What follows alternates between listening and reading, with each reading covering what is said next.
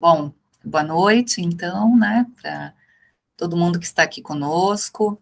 Eu sou Ângela Coutinho, sou professora na Universidade Federal do Paraná, faço parte é, da diretoria da Amped e pela diretoria componho, junto com o Jefferson e vi que aqui, acho que está o Marcos, deve ter outras pessoas também da Comissão de Ética em Pesquisa em Educação da Amped, e esse é o terceiro, é, o Marcos eu vi antes ali, agora estou vendo novamente, mas acho que tem outras pessoas, deve ter outras pessoas por aqui também. É, esse é o terceiro encontro, então, do seminário da Comissão de Ética desse ano. A nossa ideia é ter mais dois conjuntos né, de seminários no próximo ano, em 2023. Em breve a gente organiza a programação e também socializa com todo mundo que está participando. O encontro de hoje tem como tema a ética e pesquisa em educação desculpem, ética na pesquisa com crianças, não na educação, mas com crianças. E nós temos é, aqui a grande alegria né, de ter conosco duas grandes pesquisadoras, duas importantes referências na área da educação e das pesquisas com crianças, e não só com crianças, né, mas também com todos aqueles e todas aquelas que trabalham, que estão com crianças, especialmente nos contextos de educação, que é a professora Silvia Helena Cruz, que está aqui no quadradinho na tela de vocês. A professora é, Silvia Helena é professora da Universidade Federal do Ceará, é alguém que há muito tempo né, já compõe a área da educação infantil e o GT7. Depois eu vou pedir para que elas acrescentem as informações que elas quiserem, não vou ler os currículos, né, porque são duas pesquisadoras bastante conhecidas nossas. Eu só quero destacar aqui que, dentre as várias produções e as contribuições da professora Silvia, é, há uma delas que para nós na área é bastante importante e eu vou destacá-la inclusive pela relação direta com o tema da nossa, do nosso seminário de hoje, que é um livro que marca também é, essa nossa discussão sobre a pesquisa com crianças, né, que ela organizou, que é a Criança Fala, a escuta de crianças em pesquisas, que acho que é de 2008, né, Silvia, se não me engano, já tem aí um tempo, e também a professora Sônia Kramer, que é professora na, na PUC do Rio de Janeiro, né? coordena um grupo que também é bastante conhecido por nós, né? que é um grupo que atua aí tanto no campo da pesquisa quanto também na, na formação de, de professores, de professoras, né? que, é, que é o enfoque. É, também né, tem se dedicado aí a discussão sobre ética na pesquisa com crianças e também dentre as suas várias produções eu vou destacar um último livro que inclusive está indicado como referência, né, como uma referência para que nós possamos é, adensar a discussão sobre ética na pesquisa com crianças, que foi publicado recentemente, organizado pela professora Sônia Kramer, pela Alexandra Pena, pela Maria Leonor Pio Borges de Toledo, pela Silvianelli Falcão e pela Silvianelli Falcão é, Barbosa, que tem como título Ética, Pesquisa e Práticas com Crianças na Educação Infantil, e um dos capítulos foi indicado diretamente para leitura, mas o livro como um todo fica aqui como uma referência também. Eu esqueci, vou fazer agora a minha audiodescrição, já comecei falando, estou tão feliz e emocionada aqui de, de tê-las conosco e ter esse grupo também é, aqui interessado no debate. É, eu sou uma mulher branca, de cabelos castanhos escuros, um pouquinho abaixo do ombro, estou usando óculos preto, uma camisa branca de bolinhas pretas, uma blusa de lã rosinha, que em Curitiba faz bastante frio, como sempre. É, estou é, no escritório, na minha casa, ao fundo tem um armário branco, uma parede branca e uma porta com alguns cartazes, dentre eles Lula Esperança. É, e nós vamos aqui, então, no encontro, seguindo um pouco a dinâmica né, do que nós temos organizado para esses seminários. Esse seminário foi pensado pela Comissão de Ética, como eu disse, que é coordenada pelo professor Jefferson Mainardes, né, que acompanha essa comissão já desde 2014. É, nós pensamos nesse seminário organizado dessa forma e que depois, né, é, nós teremos a oportunidade de acessá-lo também a partir de uma edição que pretendemos fazer, mas é, principalmente com o intuito é, de promover o debate, de promover uma discussão mais aprofundada sobre as questões em torno da ética na pesquisa, com diferentes recortes, né? E hoje a gente vai aqui tomar é, como referência essa discussão na relação da pesquisa com crianças, mas inclusive pelas bibliografias indicadas, a gente identifica, né, é possível perceber que esse debate da ética, partindo aí das questões, sobretudo dos princípios éticos, ainda que a gente vá tratar da especificidade da pesquisa com crianças, é, se estende, né, para outras pesquisas, outros contextos e com outros sujeitos. Então, é, a nossa intenção aqui é ter uma fala inicial, né, de cada uma das professoras, uma fala breve para apresentar algumas questões que nós estamos entendendo como algumas questões provocadoras desse debate, mas na sequência a gente vai ter uma abertura de tempo, um tempo significativo para que vocês possam se manifestar, fazer perguntas. A gente tem o chat aqui como uma possibilidade, né? Quem não quiser abrir o microfone e a câmera para falar, pode fazer uso do chat, escrevendo a sua questão ou quem ainda quiser falar, mas não quiser né, expor a imagem, pode abrir apenas o microfone. A gente só pede que ou se inscreva pelo chat ou levante a mãozinha para a gente poder identificar, porque de fato são né, muitas pessoas participando.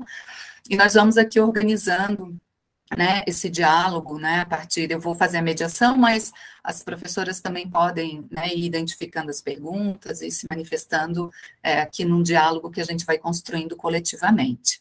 Então, nós vamos começar com a professora Silvia e depois, é, na sequência, a professora Sônia. Então, mais uma vez, agradeço.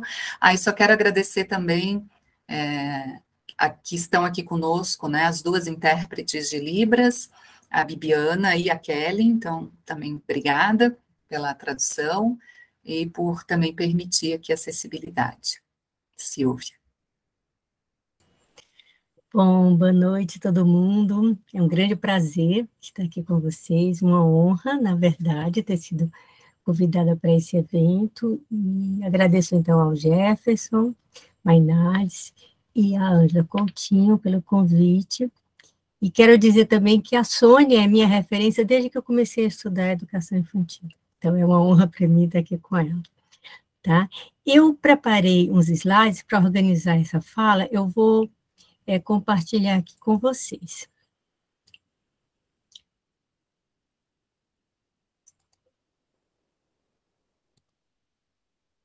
Deixa eu ver se dá tudo certinho.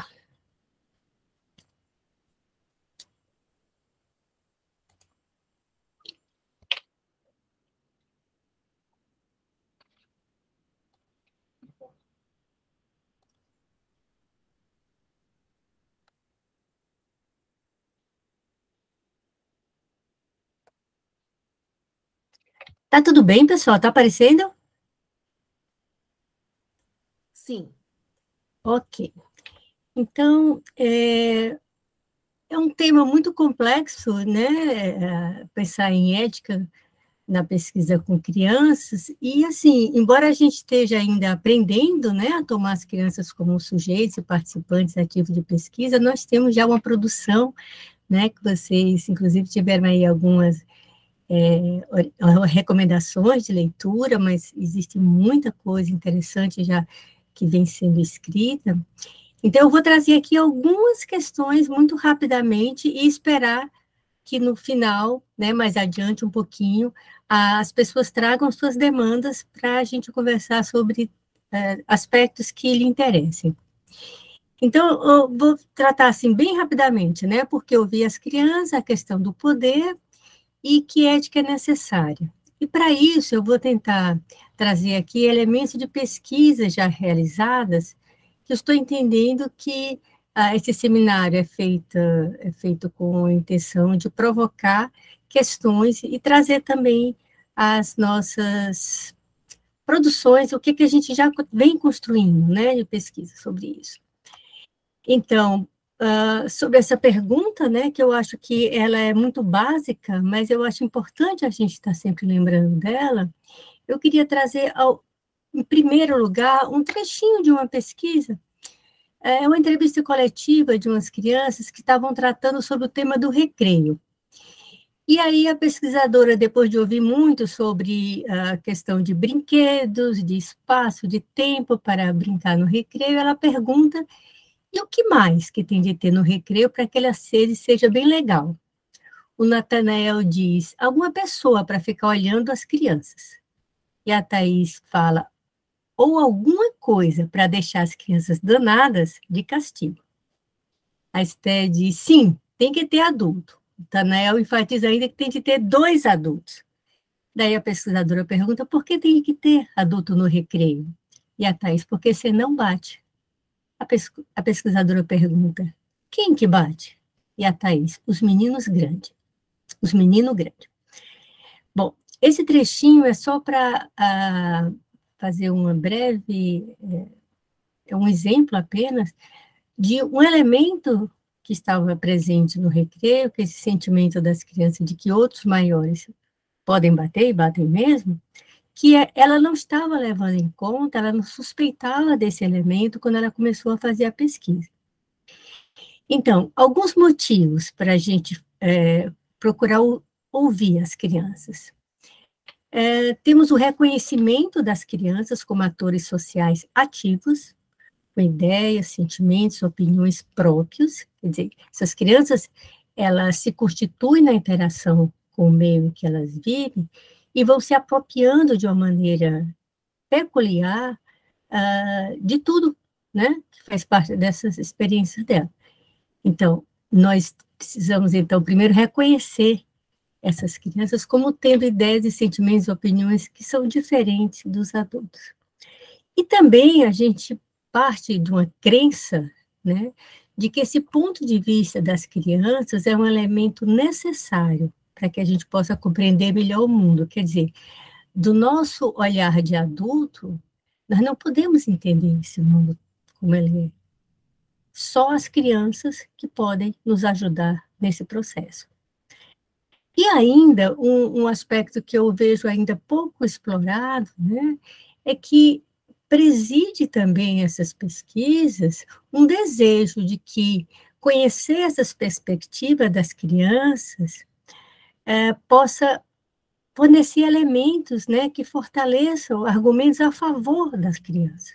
Né? Então, nós temos aí, nós, fazemos pesquisa apenas para conhecer o que acontece. A gente, a, a, aprofundando esse conhecimento, a gente realmente tem mais elementos nesse nosso processo de provocar mudanças que nós desejamos e consideramos necessárias. Né?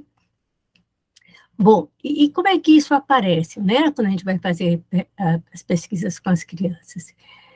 Uh, algumas perguntas, né? As estratégias que a gente propõe contemplam as várias linguagens das crianças nas diferentes idades?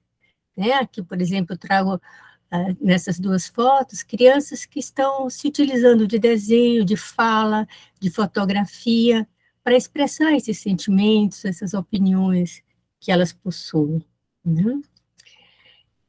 Outra pergunta: há real empenho do pesquisador para tentar apreender o ponto de vista das crianças, mantendo-se aberto para o que ele não espera? Porque às vezes eu vejo em alguns trabalhos uma pressa muito grande de já trazer a opinião dos, dos próprios adultos e mesmo autores que falam sobre o tema em vez de explorar mais o ponto de vista das crianças, né? E a outra pergunta que a Sônia vai é, trazer com muito mais detalhes e propriedade, o que é, que é feito com os dados produzidos? Né, naquele próprio contexto onde a pesquisa foi realizada, e para a sociedade de modo geral. Que tipo de, de conhecimento se tem sobre as crianças, que tipo de ideia, que imagem de criança que a gente está reforçando ou não. Né? A questão do poder é super forte na sociedade, de modo geral. As relações de poder presidem né, muito do que se faz, do que se pensa.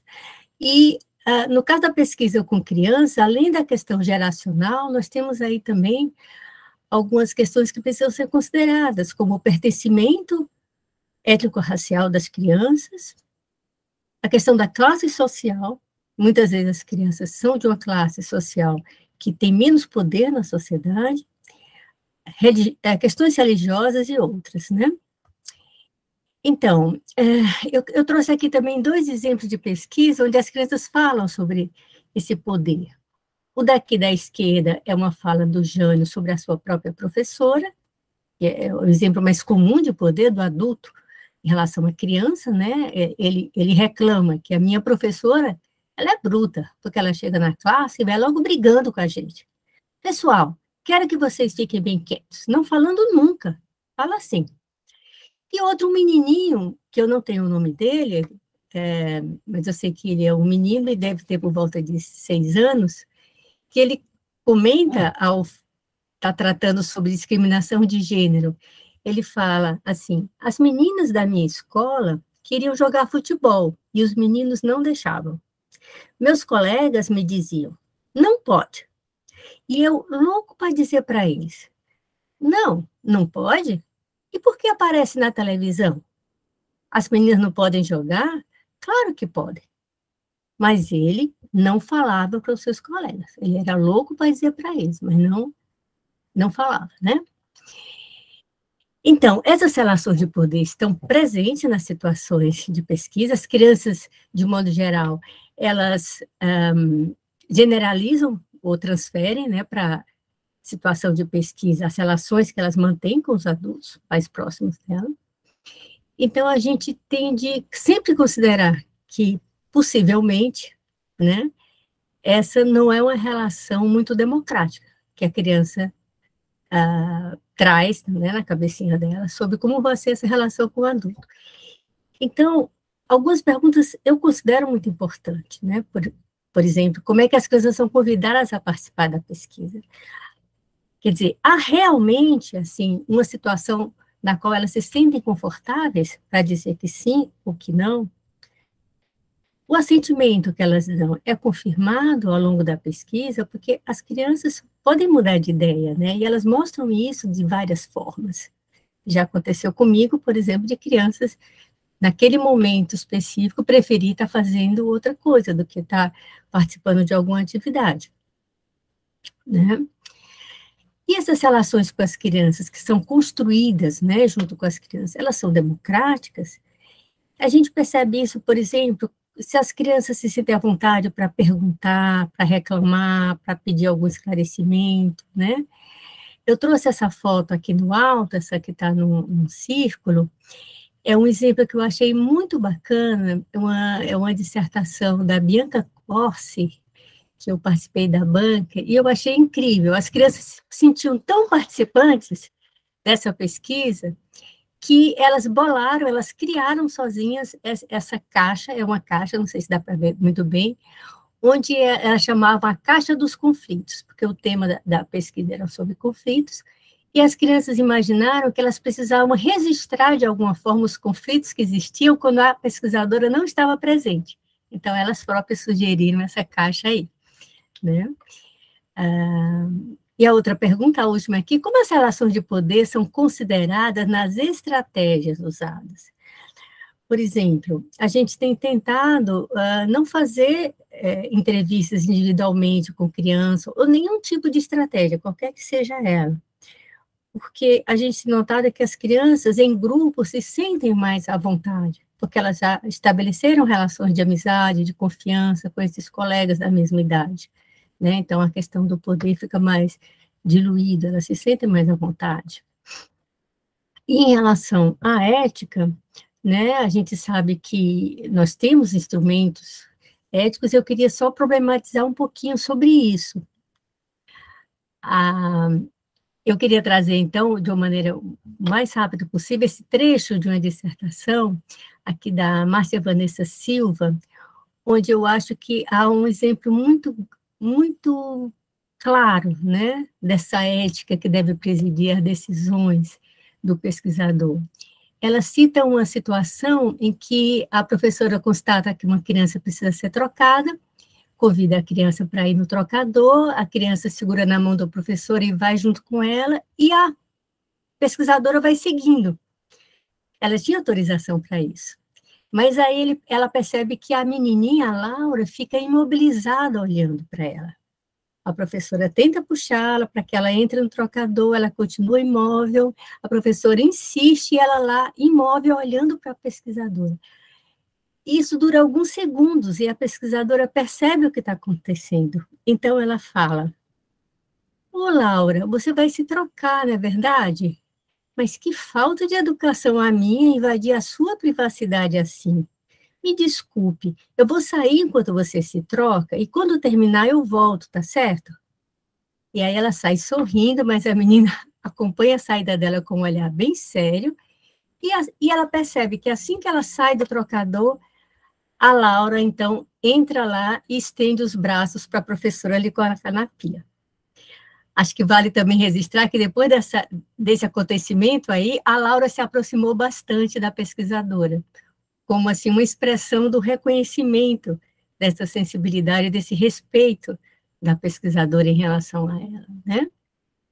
Então, as normas são necessárias, não vou aqui falar quais são as que existem, mas nós temos, né, no nosso campo, inclusive desde 2016, uma resolução que é voltada para ciências humanas e sociais. Uh, acho que são necessárias, né, as normas para colocar limites aos nossos desejos, mas é, a todo momento a gente percebe que elas não são suficientes.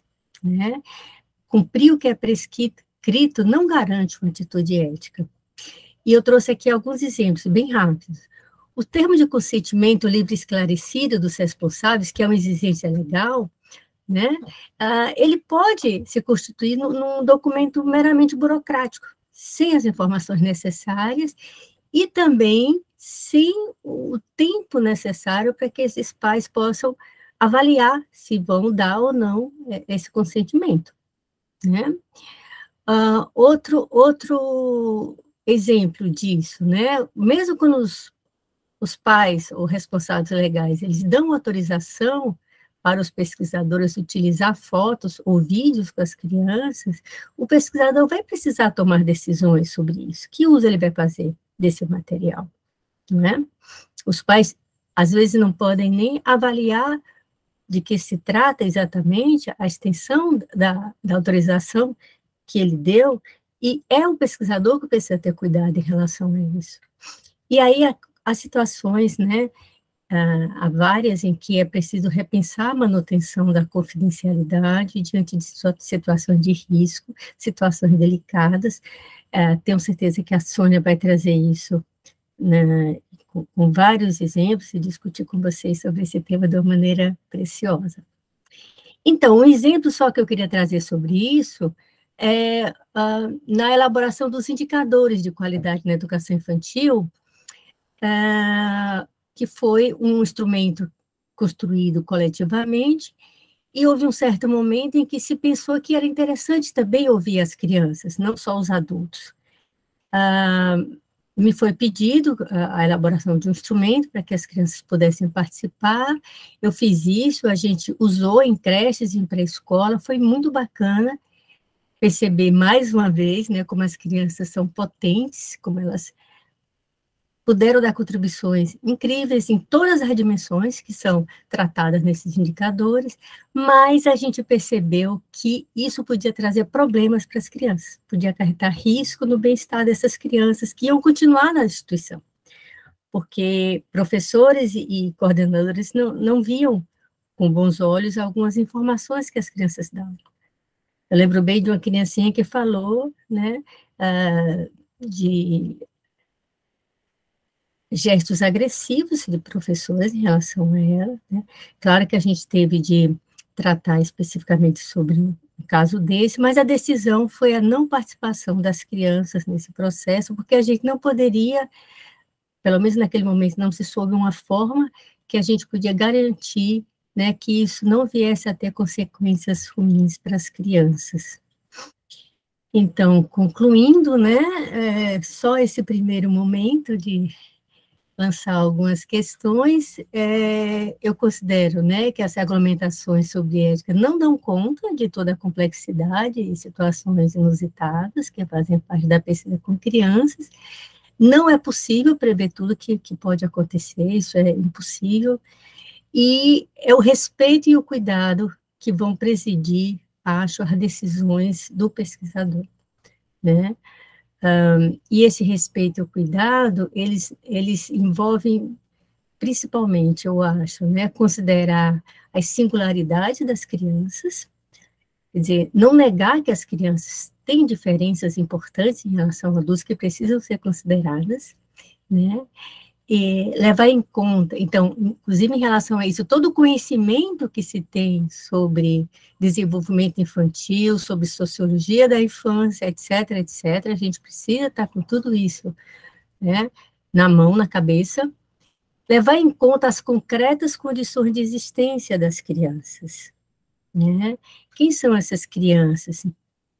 É, nesse exato momento desse exato pertencimento que elas têm é, em relação à condição econômica, é, tudo, né? E, o dos ele, e os elementos do contexto de, da pesquisa. Que contexto é esse? Né? Então, tudo isso precisa ser considerado com muito bom senso e com muito respeito pelas crianças. Então, eu queria concluir é, parodiando o Boaventura de Souza Santos, numa afirmação muito famosa dele, né? É, acho que a gente pode dizer que as crianças elas têm o direito de ser tratadas como iguais aos, aos adultos, quando a sua diferença as inferioriza.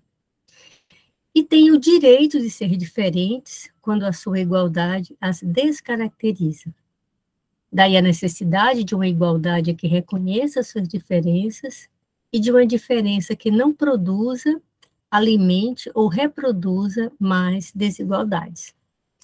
Então, são essas ideias iniciais, pessoal, que eu queria trazer para vocês. Então, agradeço bastante. Vou parar aqui a, o compartilhamento.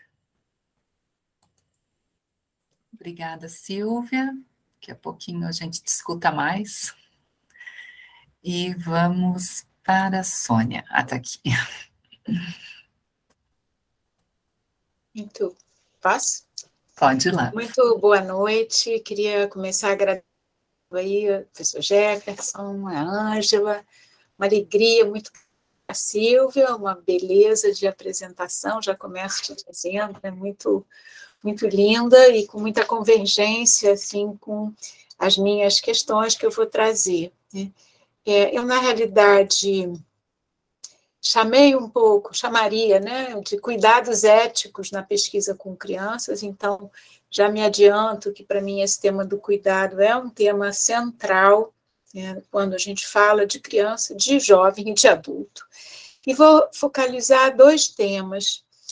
É, já adianto, assim, antes disso eu queria só é, compartilhar com vocês no caso do primeiro tema, é, a, que eu vou exemplificar, que vou trazer aqui, assim, acho que cerca de 20 anos, né, Autoria e Autorização Questões Éticas da Pesquisa com Crianças, é um texto de 2002, foi um seminário que foi organizado pela Maria Tereza Freitas em Juiz de Fora, e desde então, a gente tem também no campo dos estudos da infância, né, se toda uma discussão de que a gente tem crianças na, é, também na infantil, eu diria também no ensino fundamental. Então, acho que tem um, um tema que é, é o que eu estou colocando aqui, o que eu vou colocar, tem a ver com é, um movimento, não só meu, mas do nosso grupo de pesquisa, né, de orientandos e de outros pesquisadores, de tentar essas crianças, de tentar compreender se no cotidiano da escola, na educação infantil, nos primeiros anos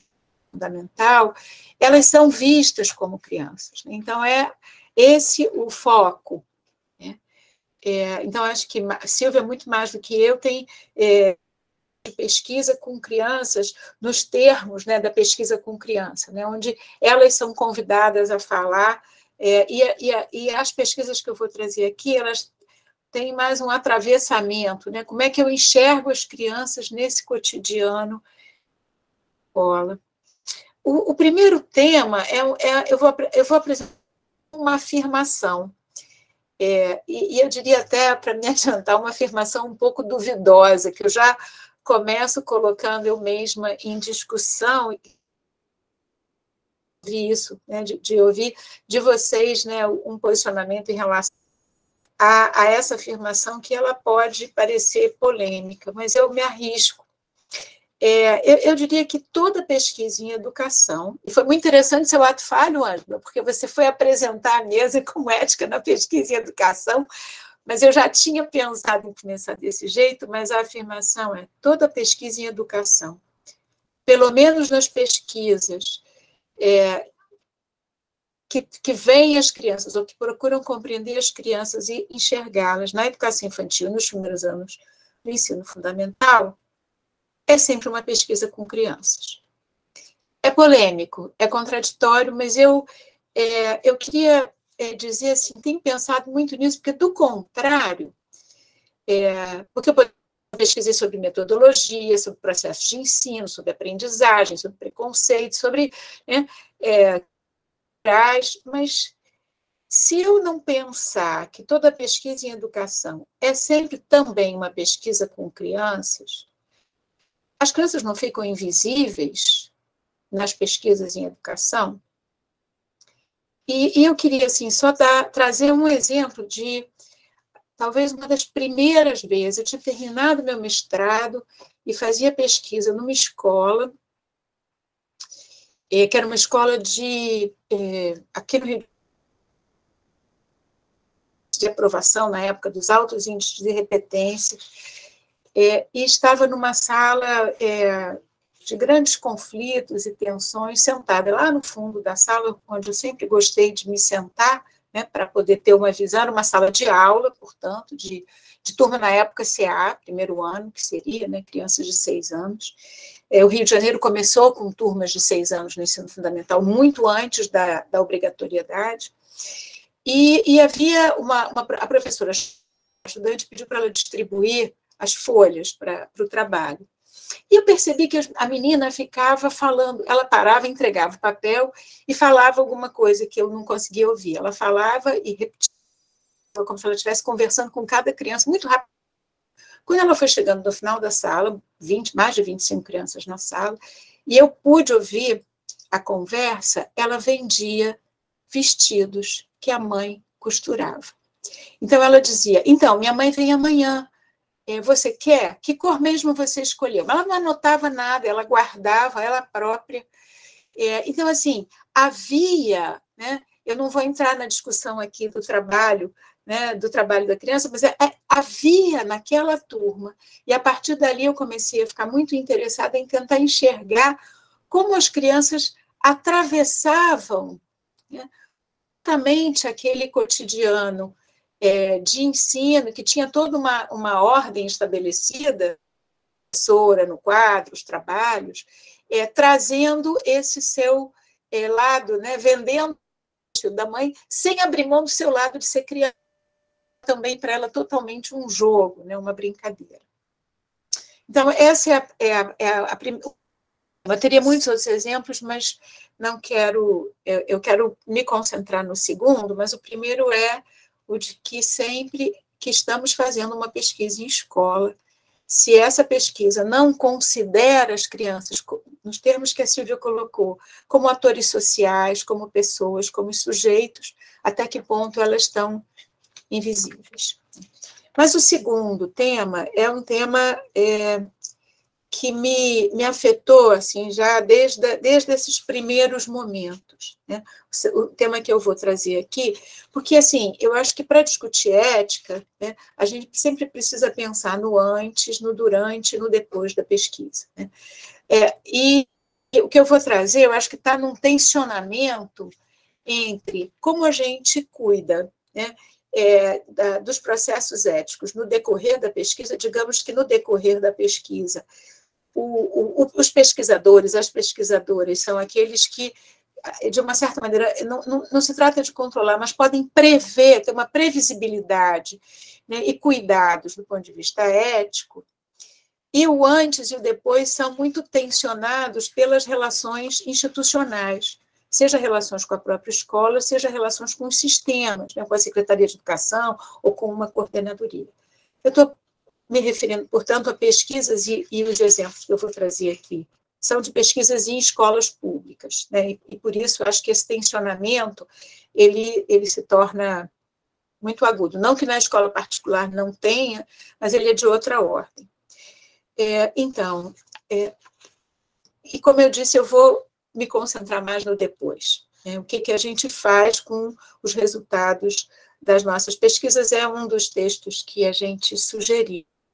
E, e, eu, e eu penso que a gente tem, sim, essa devolução indireta que nos é tão cara e muitas vezes tão exigida, né, para a gente não falar aqui do produtivismo, mas que a devolução indireta que a gente pode dar é, aos processos educacionais e às práticas de educação ao fazer uma mesa como essa, ao fazer mesas com professores, publicar relatórios, é, fazer apresentações em câmaras de vereadores, assembleias legislativas, movimentos sociais, enfim, isso que a gente pode dizer como que a gente se relaciona do ponto de vista acadêmico com o retorno do trabalho ou do ponto de vista social, político, né, como é que o seu trabalho impacta as práticas e as políticas. Então, isso seria, digamos, uma devolução.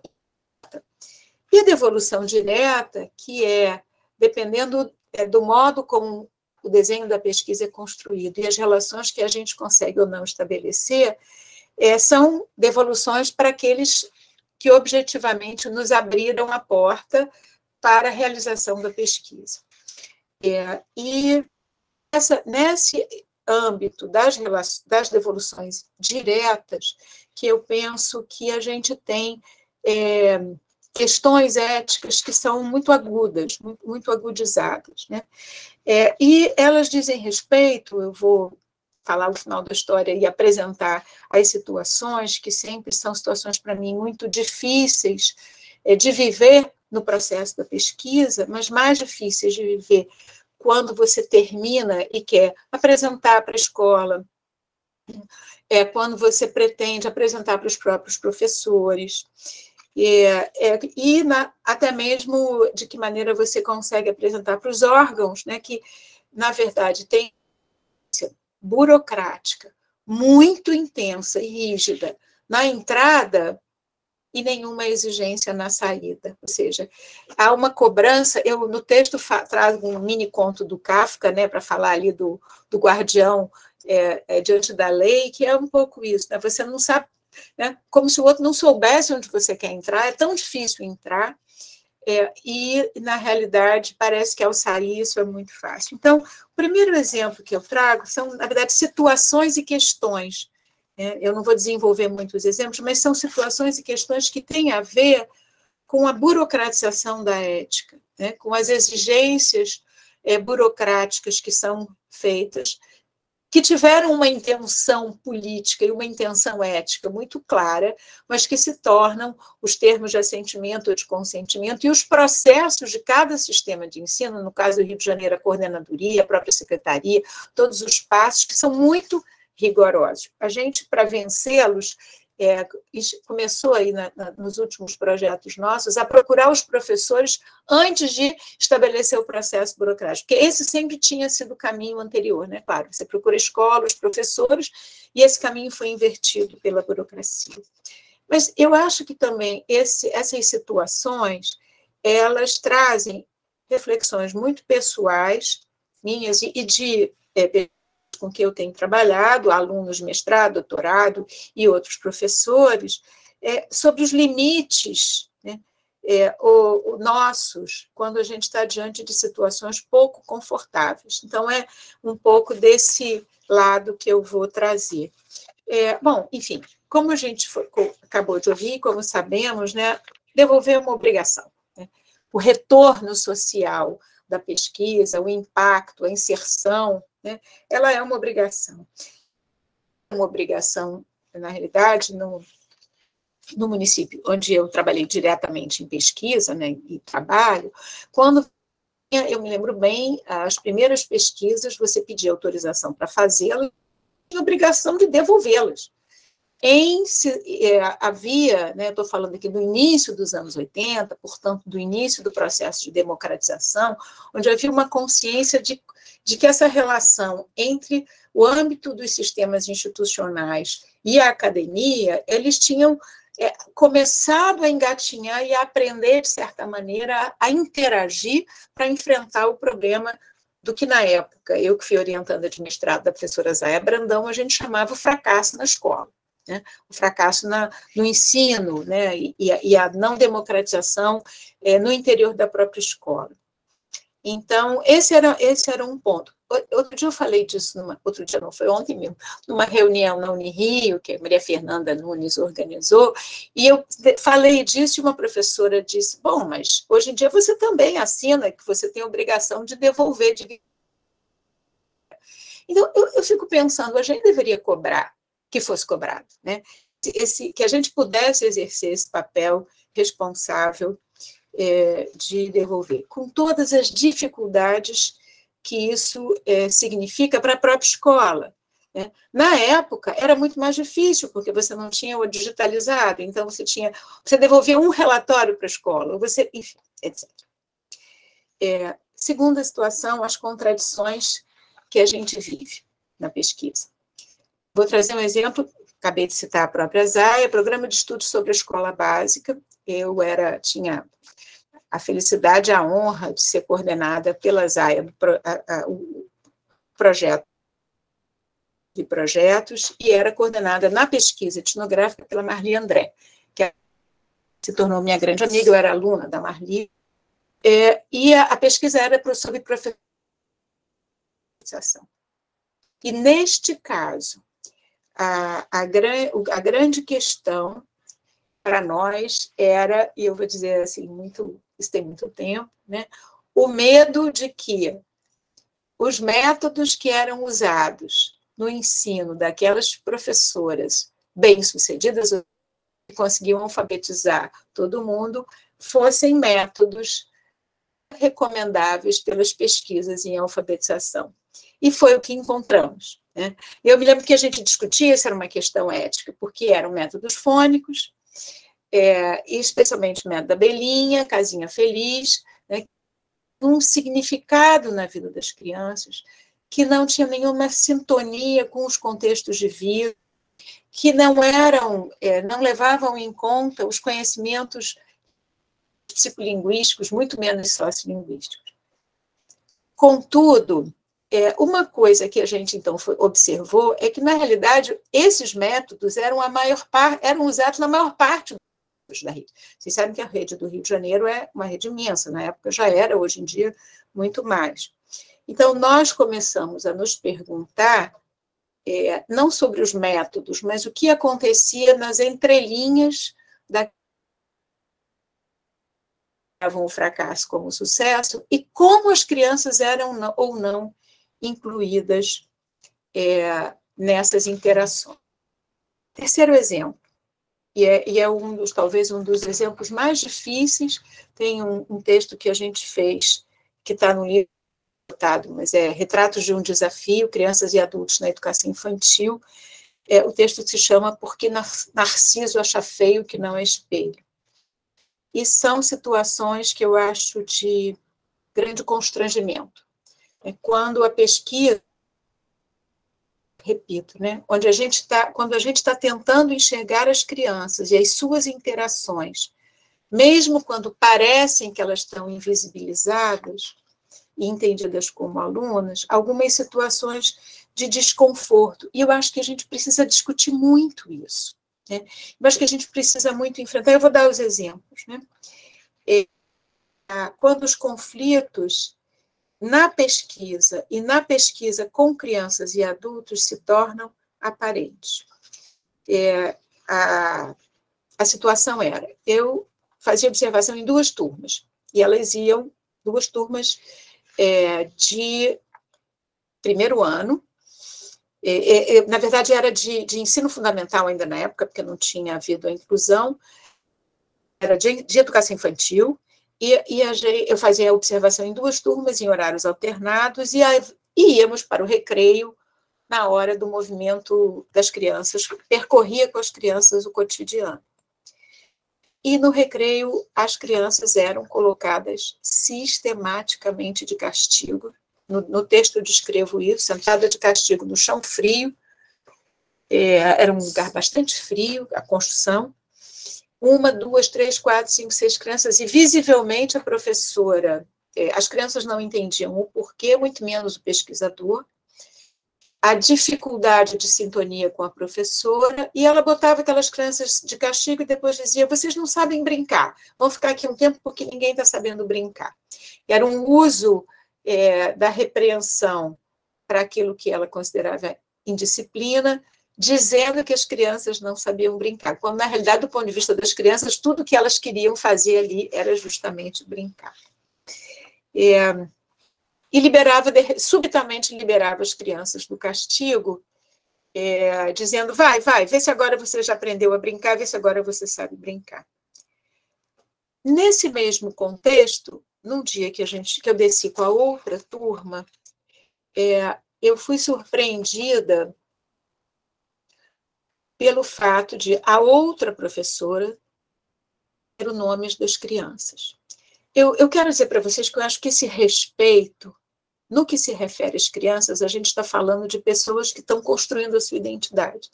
Se pensar no dia de hoje, né, passados esses anos, esses quatro anos de situações conflitivas, empobrecimento de uma população que já né, de, de grande desigualdade. Mas esses quatro anos, eles são anos que são marcados por dois anos de agravamento de um contexto muito grave. Então, é, hoje, é, esses exemplos, eles são é, talvez muito mais numerosos, né? É, e talvez muito mais é, profundos na sua gravidade. Mas já desde aquela época, para mim, o nome da criança é algo que é fundamental. Quanto menor a criança, o nome é ela. Ela é o seu nome. Né? Não à toa as crianças se reconhecem na palavra do outro, né? o Vygotsky e outros autores vão dizer isso, né? O outro que lhe dá é, esse nome, né? Que é escrito nela muito antes dela saber escrever. Então, a situação é assim: a professora diz: Ei, menina! Ei, menina! E eu, a menina é aluna dela. Essa observação é em agosto. Sil, ei, vem cá, você menina, chama aquela outra para tomar o leite.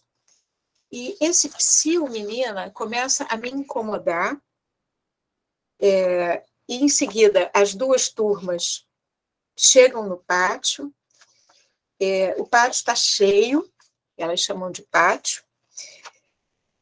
A partir daquele dia, começa para mim é, a se colocar uma situação de que é, ou eu vou conseguir fazer alguma coisa, ou eu não vou conseguir continuar nessa pesquisa. Então, eu faço um parênteses aqui para dizer a vocês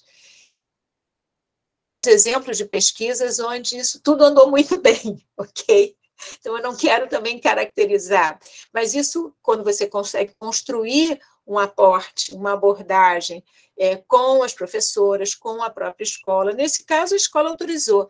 E eu devo dizer a vocês que essa escola me foi indicada como uma das melhores escolas de educação infantil do município do Rio de Janeiro, na zona sul do Rio de Janeiro, perto da minha casa. Então, assim, há muitos anos, a gente também tem como critério, muitos anos, né, é, olhar aquilo que é considerado bem-sucedido, é, para não ficar apenas fazendo a denúncia. Só que aqui eu estava olhando que era bem-sucedido do ponto de vista do sucesso escolar, dos índices de aprovação, né, é, mas e era uma escola para crianças de classes populares. E eu queria ver a gente queria ver e conseguir enxergar as crianças. Ainda nessa escola, eu acho que o meu tempo, eu vou terminando, é, quero mencionar duas coisas. Uma, as professoras andavam com as bolsas penduradas. E sempre eu queria, eu nunca tive a oportunidade, eu queria ter perguntado para as crianças. Né? Elas andavam com as bolsas penduradas, do, do olhar do pesquisador, me parecia que era como se elas tivessem de passar chegando ou saindo. Sempre havia um motivo que eu perguntei para um outro, você não tem um lugar onde botar? Não, tem, tem, mas a gente, sabe como é, né? A gente tem que tomar cuidado. Então, era alguma coisa é, de uma passagem que não enxergava é, as professoras. Eu vou citar uma última situação, para, como disse uma vez uma professora, não terminar só com notícia de falecimento, não terminar só com notícias. A última situação, a, meu ver, muito ela é muito engraçada e ela é muito me, é, me ensinou muito também.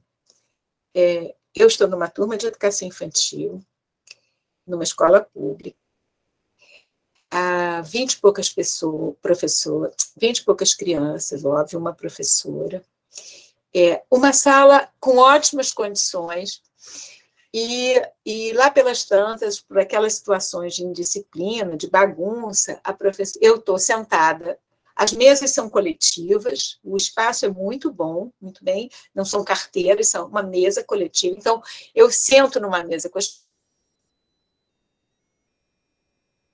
outra mesa para poder ouvir o que as crianças estão interagindo. E, por alguma razão, de algumas crianças, a professora diz: todo mundo de cabeça baixa na mesa, e eu não quero conversa agora. É, a gente tem vários pesquisadores que falam disso, né, sobre a criança, o, o, professor, o pesquisador grande, né, mas a situação onde você está, você não é estagiária pela sua idade, né, é, as crianças estão brincando, estão ali e todos abaixam a e eu me pergunto, bem, eu não vou abaixar a cabeça, né? Vou ficar aqui, mas eu estou numa mesa de crianças.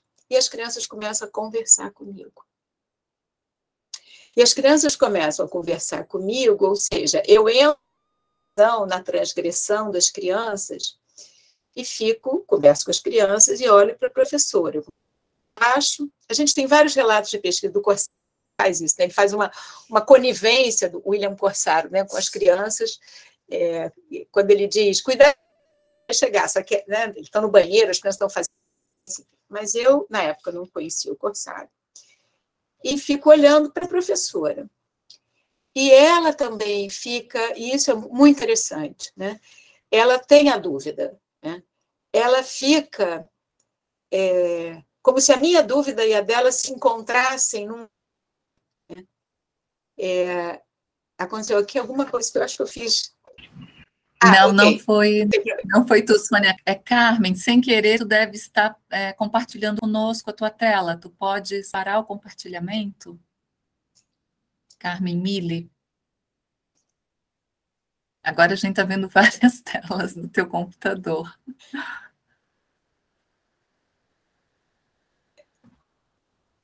Eu posso continuar.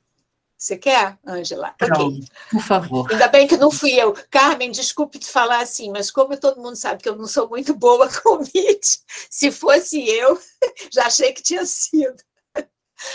Então, eu e a professora nos olhamos. Ela, claro, ela é autoridade na sala. Eu sou sua observadora. Eu estou numa mesa de crianças. E o que, que eu faço? É, na hora foi, foi intuitivo, mas foi alguém que está sintonizado. Eu comecei a falar com as crianças.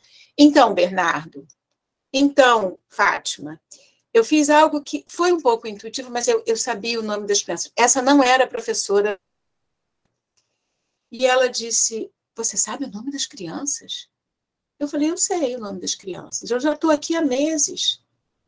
Ela disse: Bom, então eu acho que você pode conversar com as crianças. Então, é, é assim, quero compartilhar, é, ainda que as relações sejam aparentemente duras, né, é, a gente precisa considerar esses conflitos que podem ser subterrâneos, como no caso da menina lá do vestido, né, que vendia vestido, e a professora nunca soube disso, e obviamente eu nunca contei, né, não tinha porquê, nem para quê, era, era um contexto completamente diferente de carteiras, e né, é, onde, do ponto de vista ético, eu penso que a responsabilidade né, e, e, e mesmo um compromisso de, assim, não nos de consentimento de assentimento. Ele é necessário, mas ele é completamente insuficiente.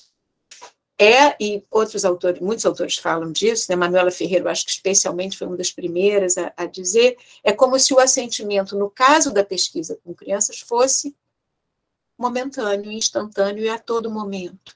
Né? Nos exemplos da, da Silvia, isso fica muito, muito claro, no exemplo da Laura que você traz, né? É, Laura, né, a menina que, que, que tenha, né, que se constrange com. É, então, é, eu, eu queria terminar falando assim, né, da, do quanto de situações, é, não só de anonimato, como é o caso do o menina, né, é, situações de humilhação ou de envergonhamento da criança, de falta de respeito que a gente e que e como pesquisador também a gente precisaria incluir, me parece, né, esse olhar sobre aquilo que as crianças são e fazem né, o tempo todo.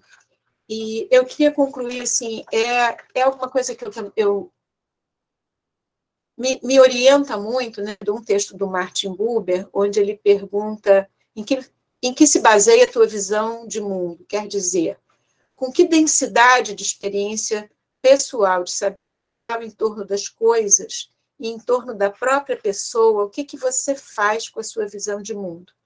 Que eu entendo que ele está querendo perguntar o que, que a gente faz com o nosso conhecimento, né?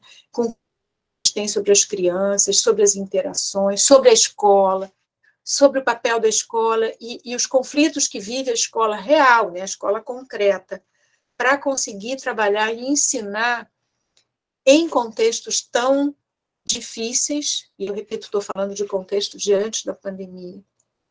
É, e, e, ele diz: é, se você não somente defende e faz prevalecer sua visão de mundo, ou se também a vive e experimenta segundo pode momento. A verdade de uma visão de mundo não se prova nas nuvens, ou seja, nas nuvens do nosso conhecimento, né, mas na vida vivida. Então, eu, eu penso que a, a redes verdadeira é aquilo que a gente testemunha. E eu penso que a pesquisa é, de campo nossa, ela é, ela, ela pede para nós, ela requer de nós assim, uma vida, uma experiência como testemunho, né? de, de como que a gente está lá. É isso. Muito obrigada, Sônia. É, bom, as falas de vocês duas foram ótimas para provocar o debate. Eu mesma já estou aqui cheia de vontade de falar um tanto de coisas. Vou me segurar.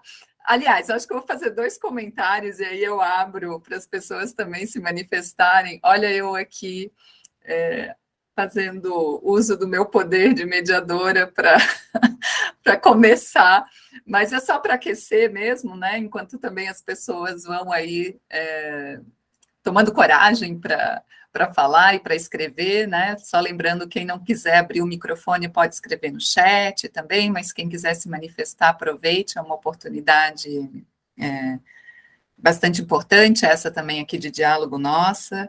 Eu só queria, assim, comentar é, dois pontos mesmo, bem rapidamente, assim, um primeiro tem a ver com a fala que começou com Silvia e seguiu com Sônia em relação às questões de poder, e, e aí fiquei pensando muito, né, acho que Silvia destaca esse elemento é, do poder que está com o pesquisador e com a pesquisadora, das escolhas que vai fazendo, dessa escuta, desse assentimento, né? Isso para mim ficou forte na fala da Silvia e dessa captação, né, da, dos indicativos das crianças por outras linguagens, né? Então, o modo como a gente vai construindo esse lugar e também de pensar, é, e, e, acho que isso vem na fala da, da Sônia também, mas também do poder dos outros adultos que estão na relação com as crianças, né? E fiquei pensando muito sobre essa questão dos dilemas éticos que a gente vivencia nos processos de pesquisa. E aqui acho que tem uma linha, né, é, que às vezes é tênue e às vezes não, entre um dilema que se posiciona num lugar de como o pesquisador e a pesquisadora é, que escolhas ele faz do ponto de vista da sua atitude, da sua postura em campo, na relação com as crianças e com os outros adultos, mas quando esse dilema ético é, implica o desrespeito ao direito das crianças. Né? Aí eu penso que há, há questões que são muito sérias e que exigem uma tomada de decisão que muitas vezes o pesquisador e a pesquisadora é, fica em dúvida de como se posicionar, de que, né, que lugar ocupa naquela relação a ponto de poder confrontar com essa situação ou não, ser conivente com ela ou não, porque o silêncio, em alguns casos, significa conivência, né? Então, depois eu queria ouvir um pouco vocês sobre isso, né? A gente tem discutido muito do quanto é importante nos relatórios, nos textos, aparecer esses dilemas éticos, né? Descrever essas situações vivenciadas para que a gente possa também e pensando sobre ela nas diferentes pesquisas. E o segundo ponto, e aí eu já vou passar a fala, porque eu já vi que tem pessoas aqui é, querendo se manifestar. A Sônia começou com a, com a afirmação que ela disse que pode ser contestada, de que toda pesquisa na educação é pesquisa com crianças. E outro elemento que eu tenho pensado muito, inclusive porque alguns autores do campo dos estudos da infância têm dito isso, que toda pesquisa com crianças também implica os adultos, né? É, assim, pensar um pouco no movimento inverso, porque por vezes parece que fazer pesquisa com crianças significaria deixar os adultos de fora e focalizar apenas nas crianças, como se isso fosse possível no mundo em que é, crianças e adultos convivem, especialmente no espaço da escola, né?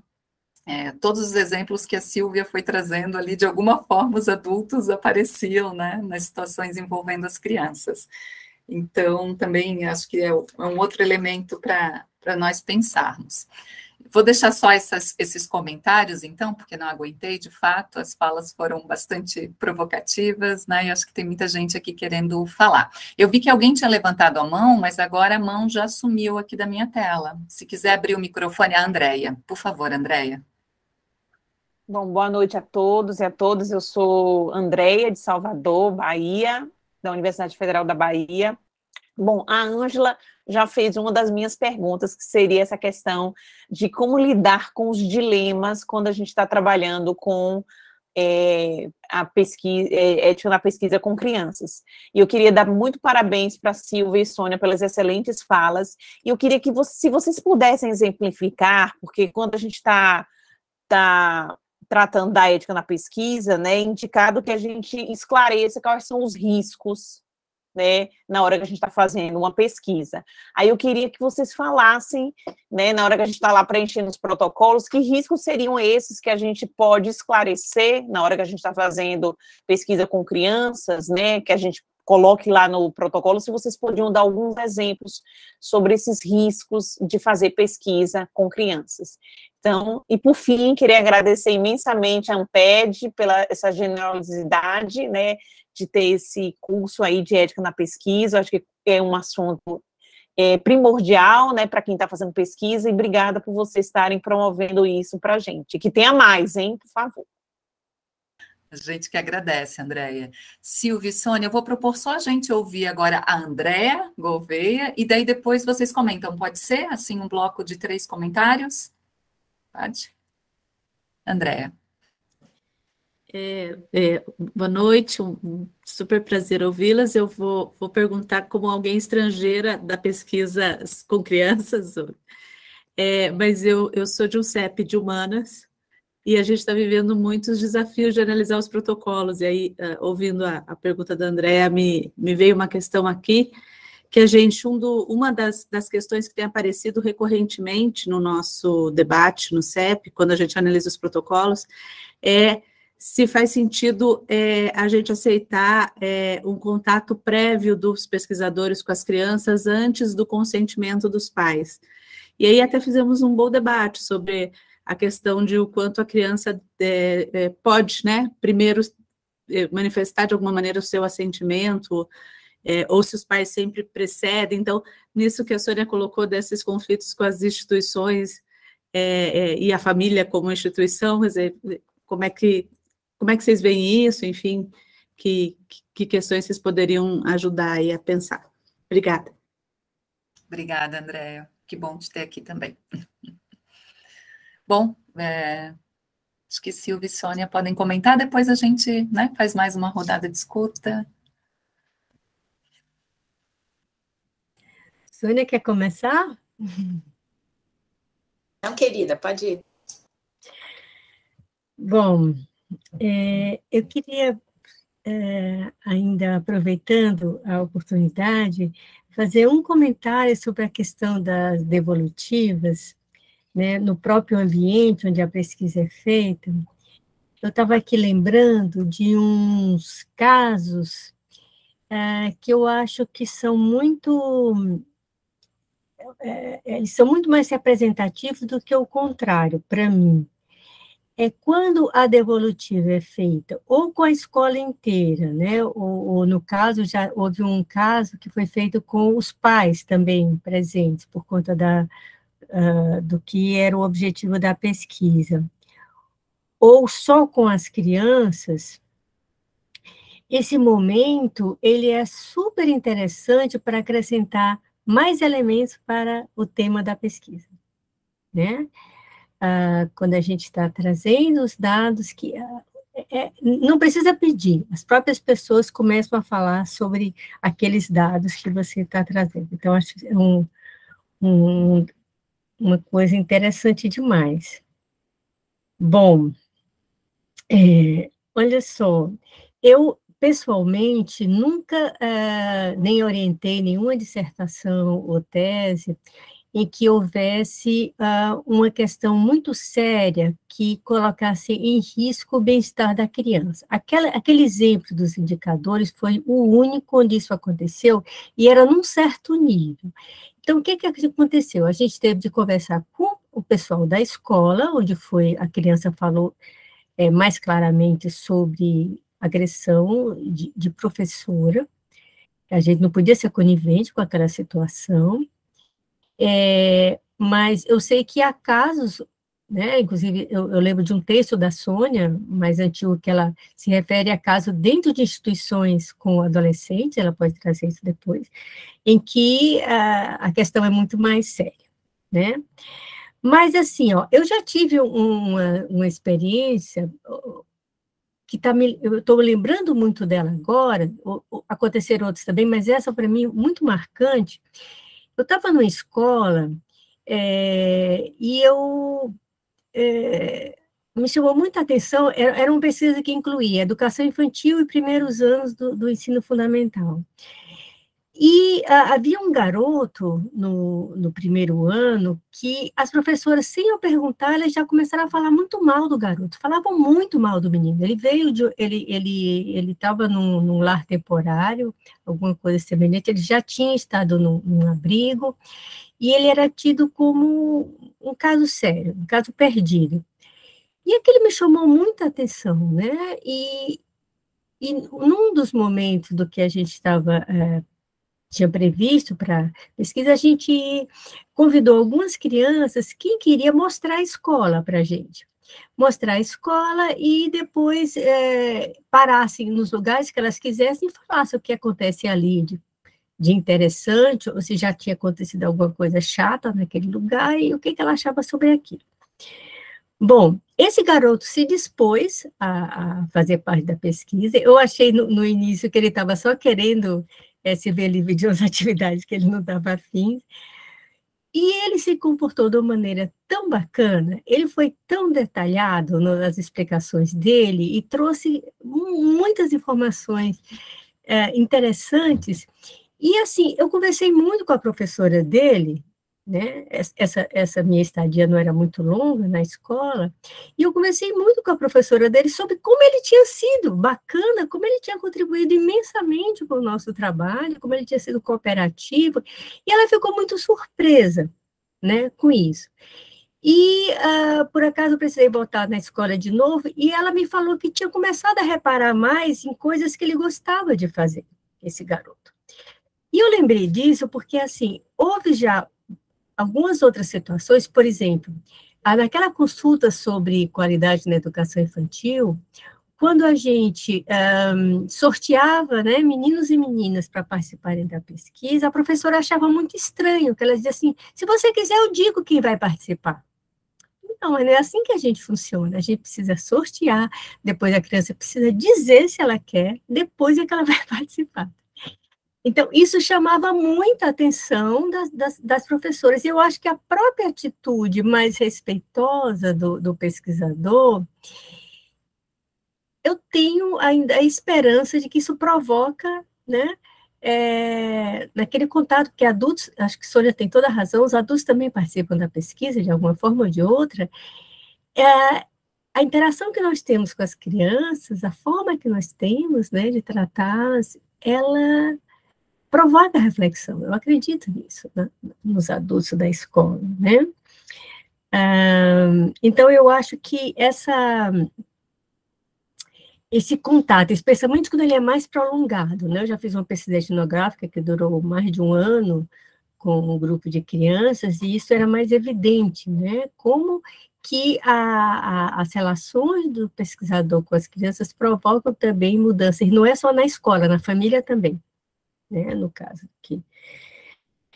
Bom, é, em relação aos riscos, a Andréa de Salvador pergunta, eu não sei dizer direito sobre isso, porque assim, a maior parte das pesquisas, pelo menos as que eu tenho conhecimento, não oferece risco nenhum para a criança, além do que ela já está é, eh, enfrentando na convivência com as crianças e com as professoras. Quer dizer, é, eu, não, eu, não, eu não sei como inventar um risco que ela vai ter quando na verdade não existe risco. Né? Eu acho muito difícil. Aliás, eu tenho alguns problemas com é, os protocolos e com as datas e os prazos né, do, do, dos comitês. É, então, assim, eu acho que uh, um, uma, uma das justificativas para esse, esse, essa resolução voltada mais para as áreas de ciências humanas e sociais, né, é porque ah, há elementos relativos não só à questão da idade, mas à cultura, lugares específicos que precisam ser respeitados, levados em conta, né, em todos os processos. E acho que, de uma forma ou de outra, essa outra é, resolução, ela está mais atenta a elas. Eu, pessoalmente, acho super importante ter a, o aceite das crianças, né, em algum, algumas pesquisas, é para saber se vai dar certo fazer naquela escola, porque se não for naquela escola, eu vou procurar outra até que haja uma possibilidade. Porque assim, ó, tem escolas, por causa dessas relações hierárquicas, né, que existem essas relações de poder, que assim, porque a coordenadora aceita a pesquisa, ela acha que as professoras têm de aceitar também, o que não é, não é de maneira nenhuma verdadeiro, né? É, se eu vou entrar em contato com uma professora, ela mesma que tem de aceitar. Então, assim, não só as crianças, mas a, a, os adultos também têm de se sentir confortáveis com a presença de, de um pesquisador. E eu não sei, acho que às vezes, assim, todos esses processos burocráticos para ter o aceite de uma instituição, que tem de passar, inclusive, por Secretaria de Educação, etc., e você pode chegar numa situação de que não vai ser feita ali a pesquisa. Por um motivo ou por outro, não, não é conveniente, não é bacana, né? Então, eu, eu, eu vou confessar minhas, as minhas dificuldades em relação a alguns procedimentos, sabe? Em relação a, a, a esses CEPs. E, enfim, às vezes a gente precisa até, é, de alguma forma, né, é, começar o contato com a instituição, com as crianças, antes de, de, de fazer esse processo é, isso está sendo gravado, é, eu não estou recomendando que as pessoas façam isso, é, não cumprir essa recomendação do CEP, mas dependendo da situação da pesquisa, a gente não pode esperar para primeiro ter essa, esse aceite. Enfim, eu acho que a Sônia pode complementar muito essas primeiras observações. Então, é, assim, primeiro dizer que quando eu tenho dois exemplos de situação de risco, mas a gente não sabe que vai corrê-los, né? Gente, é, é, é, isso é muito interessante, porque quando a pergunta existe né, no, no formulário, que riscos pode ter? Então, né, mas pode acontecer, mas a gente não sabia, né? Então, a, a, desculpe aí, André, mas é um pouco isso, né? A pergunta, eu acho que ela se coloca muito mais para outras áreas, né? Então, o segundo exemplo tem a ver um pouco com isso, mas os, nos dois casos eram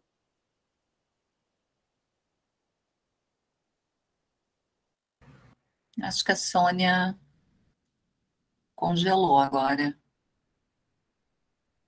Sônia, estás nos ouvindo? Uh -uh. Não, né?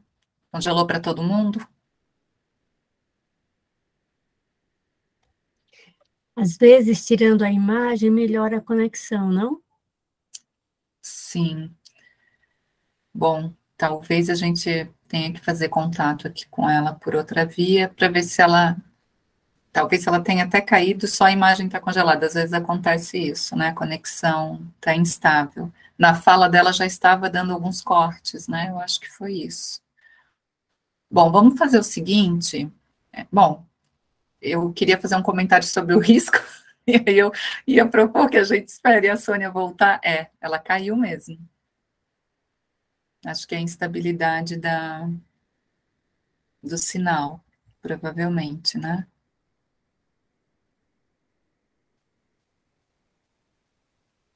Sei se a gente espera ou, ou segue o comentário, né, Jefferson? Acho que vamos, né? Enquanto a Sônia vai voltando, de repente, se você quiser fazer contato com ela, para ver se ela volta. Eu queria fazer um comentário sobre essa questão do risco, pegando carona no comentário da Silvia e da Sônia, que há um pressuposto, né, é, dos comitês, que toda pesquisa com seres humanos, em algum grau, implica, né, é, algum risco, né? A questão, de fato, é, eu acho que um pouco na direção do que Sônia vinha comentando, que é difícil de nós anteciparmos o risco, né? Que risco é esse? Que situação pode acontecer? É, vou falar aqui muito pessoalmente do que nós temos feito nos nossos projetos de pesquisa quando submetemos as propostas aos comitê, ao comitê, nesse caso, que é justo o comitê que André faz parte aqui na universidade, que somos da mesma instituição, né? Que é dizer. É, desse é, dos cuidados que serão tomados de atenção em relação aos riscos, né? Assim, não que eles é, estejam dados antecipadamente, mas qual é a posição do pesquisador para identificar se esses riscos é, podem ocorrer, né? É, que lugar que é esse que a gente ocupa de atenção, dessa reflexividade, né, de ao longo do processo estar atenta às manifestações das crianças, por exemplo, de desconforto. Eu penso que o exemplo da Silvia é um bom exemplo da Laura, né? Que é um exemplo que mostra que aquela pesquisadora estava atenta a uma manifestação de desconforto da criança, né? Então, o risco nas ciências humanas e sociais, ele é muito distinto do risco nas pesquisas biomédicas, né? Não há dúvida disso. A questão é que a gente está aprendendo a como nominar é, esse, né, essas, é, essa experiência né, na pesquisa em ciências humanas e sociais, é, sendo que agora a gente migrou para um outro campo, né? A gente tem de fato os comitês, né, na, nas ciências humanas e, e sociais, e a gente ainda está habituado com o modelo biomédico, né, que era de responder dentro de um determinado padrão. Então, acho que é uma construção que a gente está fazendo, né? E é um, é um exercício.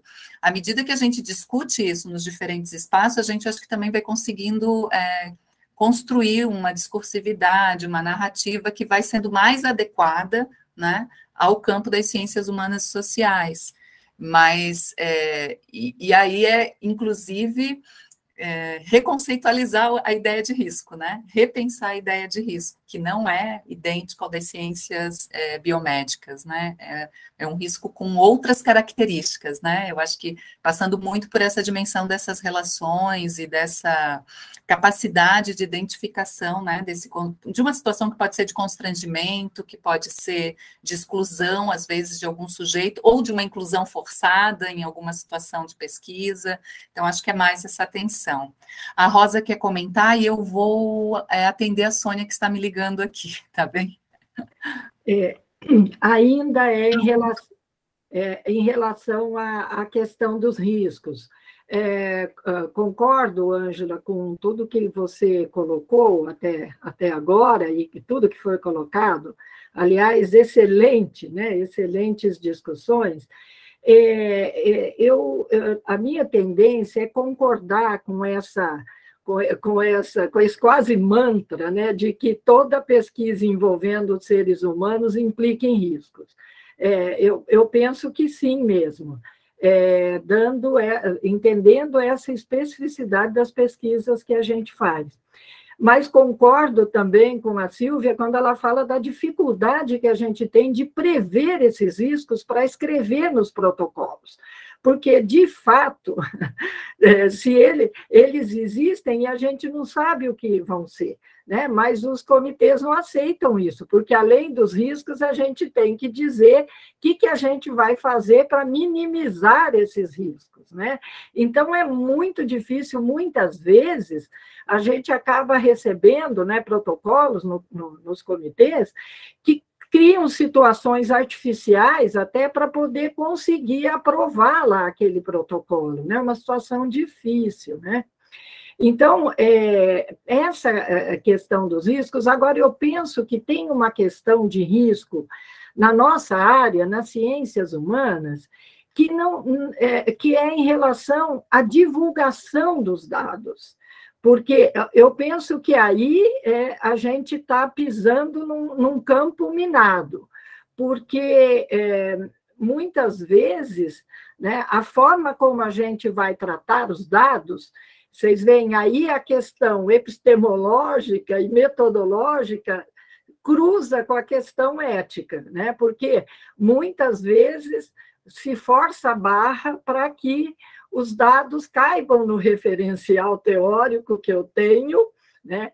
e é, a gente percebe algumas situações que é, é, apresentam infrações de natureza ética, né? ou quando eu, ao relatar as, as observações, eu é, desrespeito o, o, o professor, é, eu avalio o trabalho do professor né, e não busco interpretar.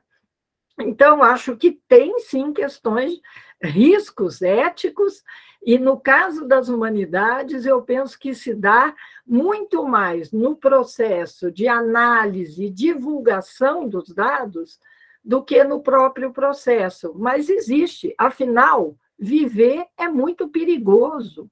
Né?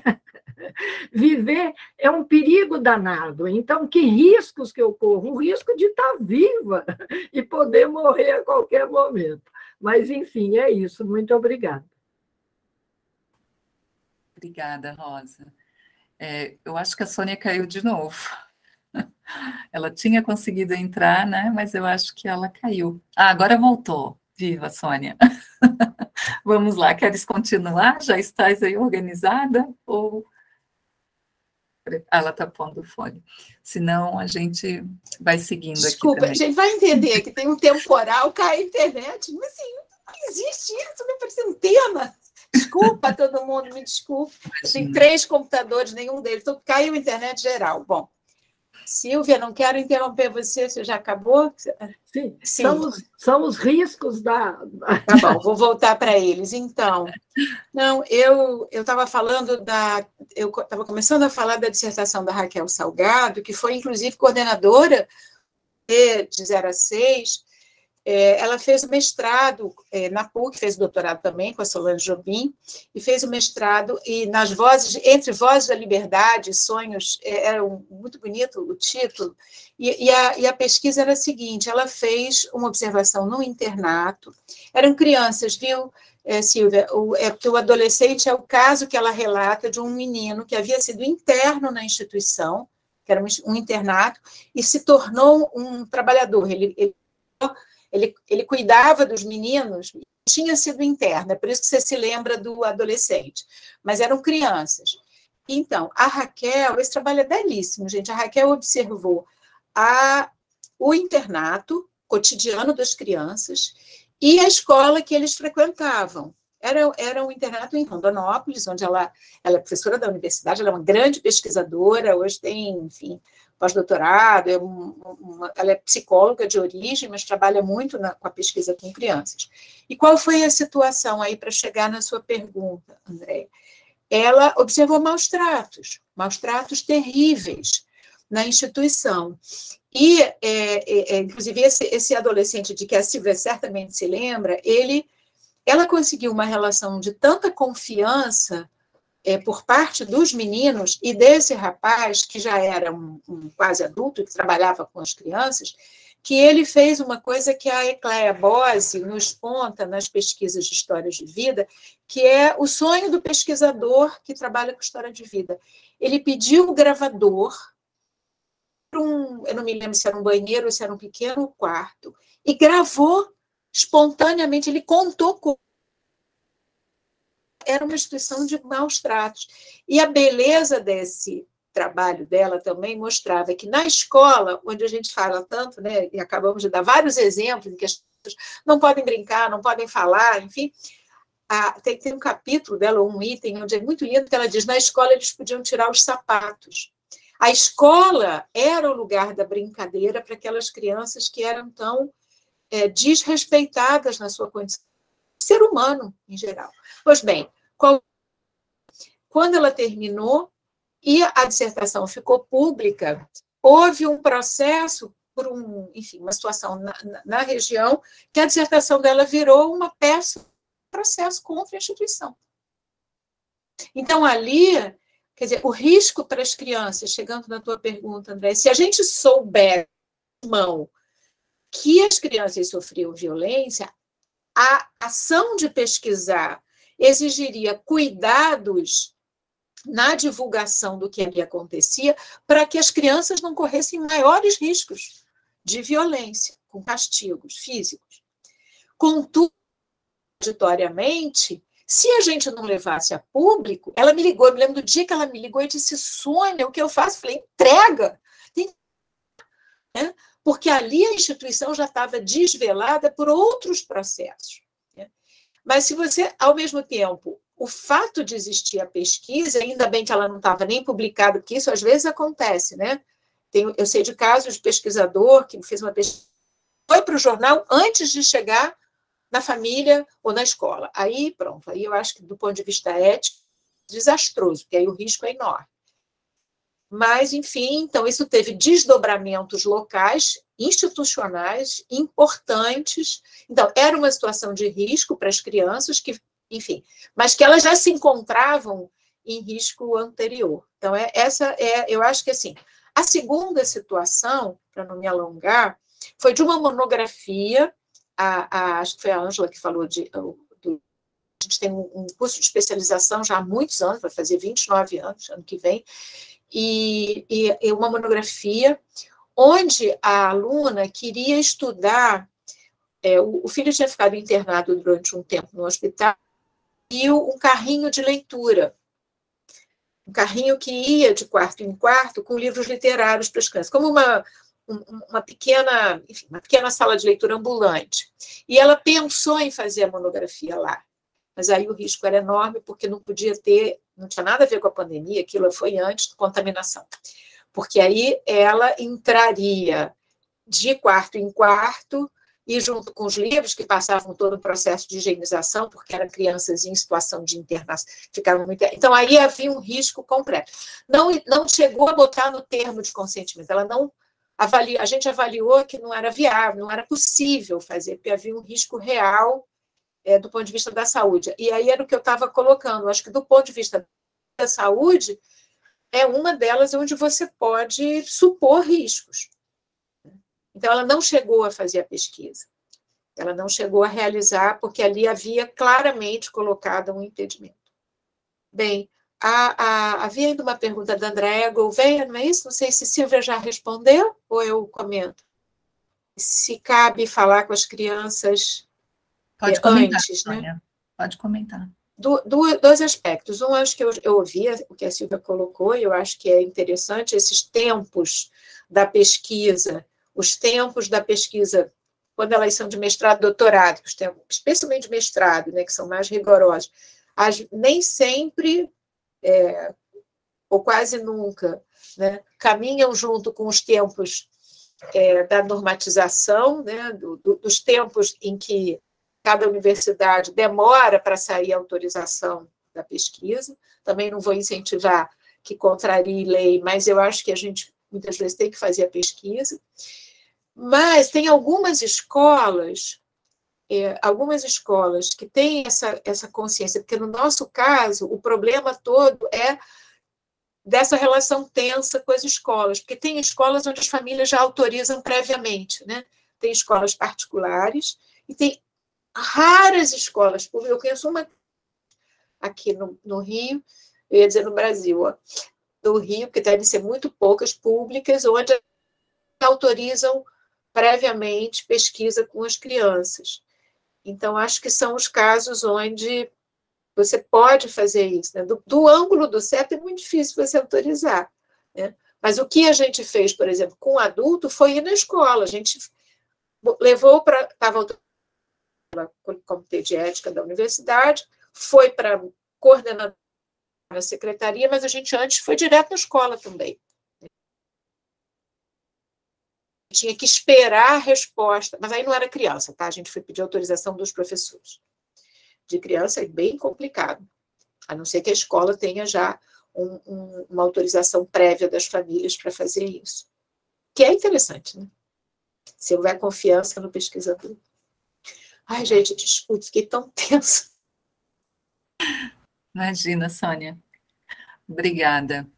É, alguém mais quer fazer alguma pergunta, comentário? A Lurdinha colocou aqui no chat que ela teve problemas para aprovação do projeto de pesquisa dela, porque a pesquisa seria desenvolvida com crianças em situação de vulnerabilidade, que estavam em abrigos, por exemplo porque consideravam que eram crianças fragilizadas. E ela disse que as publicações de vocês foram cruciais para justificar que essas crianças também tinham direito de ser ouvidas. É, até um dos textos, né, que, tá, que estão, um dos textos indicado para leitura é um texto que a Sônia escreveu com a Alexandra, se não me engano, né, Sônia, sobre vulnerabilidade no, no e-book 1, né, Jefferson me confirma é isso? Aliás, Silvia também tem é isso, é, um verbete lá, e que fala dessa questão é, da ideia de vulnerabilidade, né, Sônia? Do, do conceito e, de, e que implicações isso tem para pensar a ética na pesquisa. Acho que a Sônia congelou de novo. Não é possível. Congelei? É, Agora a gente te escuta, a tua imagem estava parada. Sério, de novo, se cair aqui, uau, tô cansada. Você quer que eu comente isso? Quer dizer, o que a gente, assim, até agradeço o Jefferson, o Jefferson que nos deu essa incumbência, né, da gente pensar a vulnerabilidade e a gente procurou pensar é, as vulnerabilidades, né, esses, esses, esses tão diversos atores, né, que e, e as crianças e as crianças de pobreza e fome, como infelizmente a gente está reconhecendo hoje, são as mais vulneráveis. Né? Eu não sei o que mais eu. Como, como, como que você está realmente mais, além do que está no, no próprio texto. Né? É, é, de novo, é a dificuldade, de, eu estou com o texto aqui, ó, de resolver é, as questões que aparecem, né? E assim, o que a gente focalizou no tema do cuidado, né, também, né, desses cuidados éticos, que eu acho que é, é e também é, coisas que a gente já comentou aqui, né, a burocratização e, e, e como é, no ofício da pesquisa é, é, essas, essas diferenças em, em, em, com os diferentes atores que você está pesquisando. Então, é, eu, eu, acho que o tema do cuidado é, é o cuidado. É interessante, né? Porque é, a ética do cuidado, né, que, que Silvia mencionou, lá das, das dos indicadores, e, e, é um trabalho que, onde você pensa também o cuidado como ética. É, e talvez eu pudesse comentar que o, o, cuidado ele foi muito discutido das, das crianças pequenas, né? Ele foi e é, né? Com o chamado binômio educar e cuidar, que é, era como se fosse a especificidade da educação das crianças de 0 a 6, que é algo é, que eu questiono um pouco também, né? porque para nós também isso foi muito importante quando isso foi trazido, né, ainda nos anos 90, né, para o campo, né, com, com os pequenininhos, os piquitititos, né, as crianças bem pequenas, os bebês, é, mas é, eu acho que com a continuidade, é, a, a ideia era de que o cuidar era incluído no educar. O educar é amplo e inclui o cuidar. E para mim era mais fácil de entender, professoras entendessem, pensando cuidar e ensinar. Né? E, e o cuidado é como também estando presente em todas as ações de ensino. Tudo que a gente falou aqui, né, os exemplos que a gente trouxe aqui do respeito, da atenção com a criança, significa cuidado. Mais adiante, eu tive a oportunidade da elaboração das diretrizes da educação básica, porque tinha participado da, da, da elaboração das diretrizes da educação infantil, eu defendi muito, e, e, isso acabou entrando, né, a ideia do cuidado, não só é, em relação às crianças é, da educação infantil, né, mas o cuidado, é, se a gente pensar e aí toda a situação de vulnerabilidade com a questão das drogas, né, os nossos alunos das universidades, né, e, e, e, lamentavelmente, né, o cuidado se tornou a palavra presente nesses dois, quase três anos de, de pandemia, né? com a expressão cuide-se, né? take care, em todas as línguas, né? isso se tornou uma coisa muito forte. Então, eu, eu penso que é a, a, não só nas situações de extrema vulnerabilidade, se a gente pensar todos nós vulnerabilidade, mas evidentemente que as torna os, os menores, né, as crianças, mais vulneráveis é, ainda, né, levando em conta o subalternizado, as situações de racismo, né, todas as questões, é, famílias é, que são adictos, né, usuários de drogas, né, classe popular. Então, isso, e, e a presença das crianças, e a, e a, e a presença das crianças na escola, espera-se, né, com todas as dificuldades que isso nos, nos traz. O, no texto, a gente traz nesse né, tema do cuidado ético, o Buber, a gente usou do Martin Buber, é, o que ele, a, a, os critérios que ele propõe para pensar diálogo, que é o filósofo do diálogo, ele fala em diálogo autêntico, é, os textos são muito interessantes, né, diálogo técnico, que é sempre necessário, né, você você está perdido na rua, porque ah, agora ninguém mais pergunta onde é a rua, porque põe, põe no aplicativo, né? mas era uma pergunta, qualquer pergunta que você faça de informação, mesmo na escola, o diálogo técnico, e, e o, o, o, o diálogo, o monólogo disfarçado de diálogo, eram os três, e a gente trabalhou um pouco na pesquisa com o autêntico, cuidado técnico, que é tão importante, né? As crianças precisam estar limpas, precisam estar é, de banho tomado se não estão em casa, infelizmente tem que tomar banho na creche, porque né, tem que cortar a unha, né? Tem que ter vários cuidados técnicos e também o, descuido disfarçado de cuidado, enfim. Então, acho que do, do texto, né, do tema das vulnerabilidades, eu acho que também em relação às questões éticas, a gente poderia ter esses cuidados de fato técnicos, se a gente quiser pensar assim, para as autorizações e para os pedidos, e é combinado dos horários, né? Você não vai chegar a qualquer horário na escola, na creche, enfim. É, e os descuidos disfarçados de cuidado, né? que não são poucos. Angela, não me deixa cair de novo. Tá bom, não, tu estás aqui conosco. Obrigada, Sônia.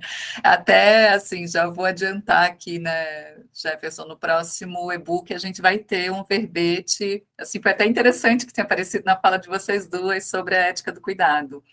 Então, essa, essa é, discussão... É ética do cuidado e cuidado como ética.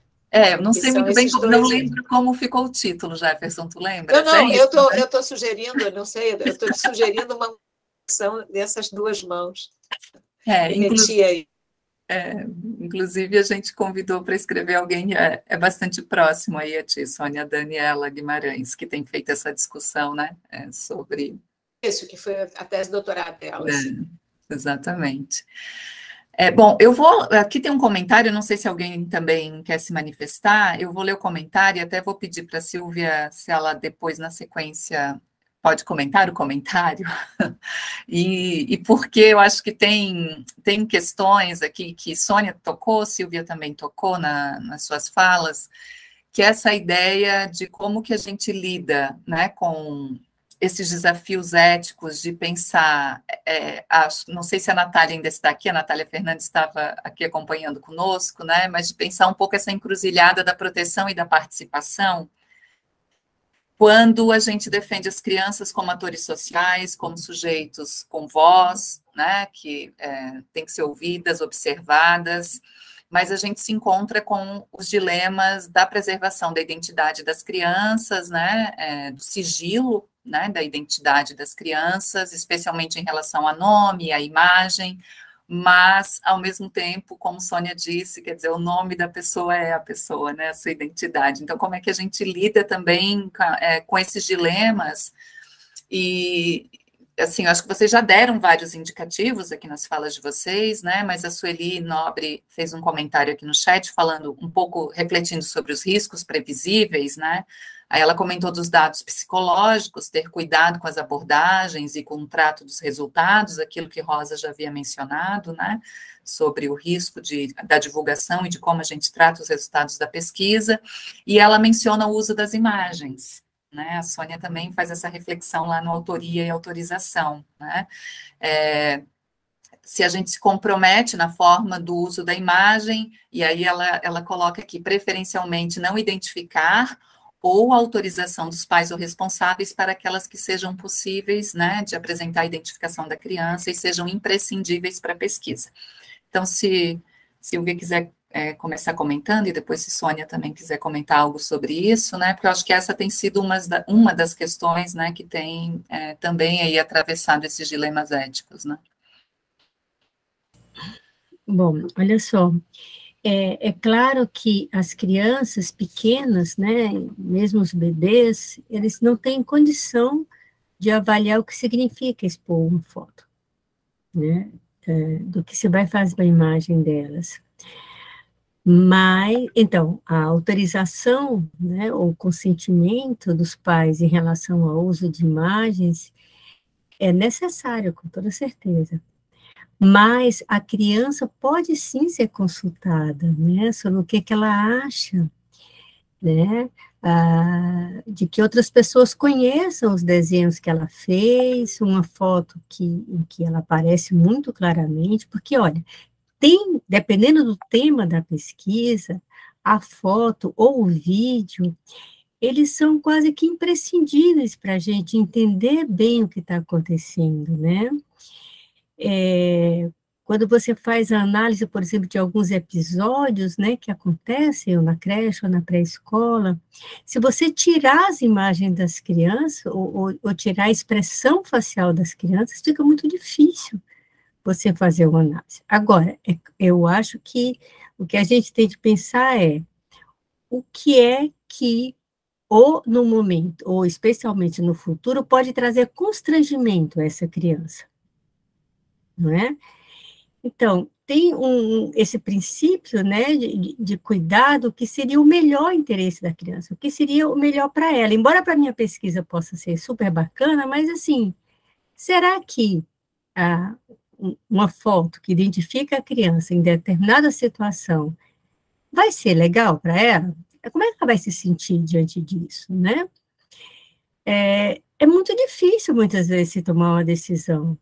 É, e eu acho que a gente tem de admitir mesmo que às vezes as decisões são tomadas sem tanta segurança assim. É o melhor que a gente pode fazer naquele momento, né? É, agora, é, uma boa parte das crianças, elas acham muito bacana poder ter essa autoria, né? É, eu, eu já ouvi de uma criança durante um, um, trabalho, ela dizer, escreve aí o meu nome, fui eu que falei isso, né?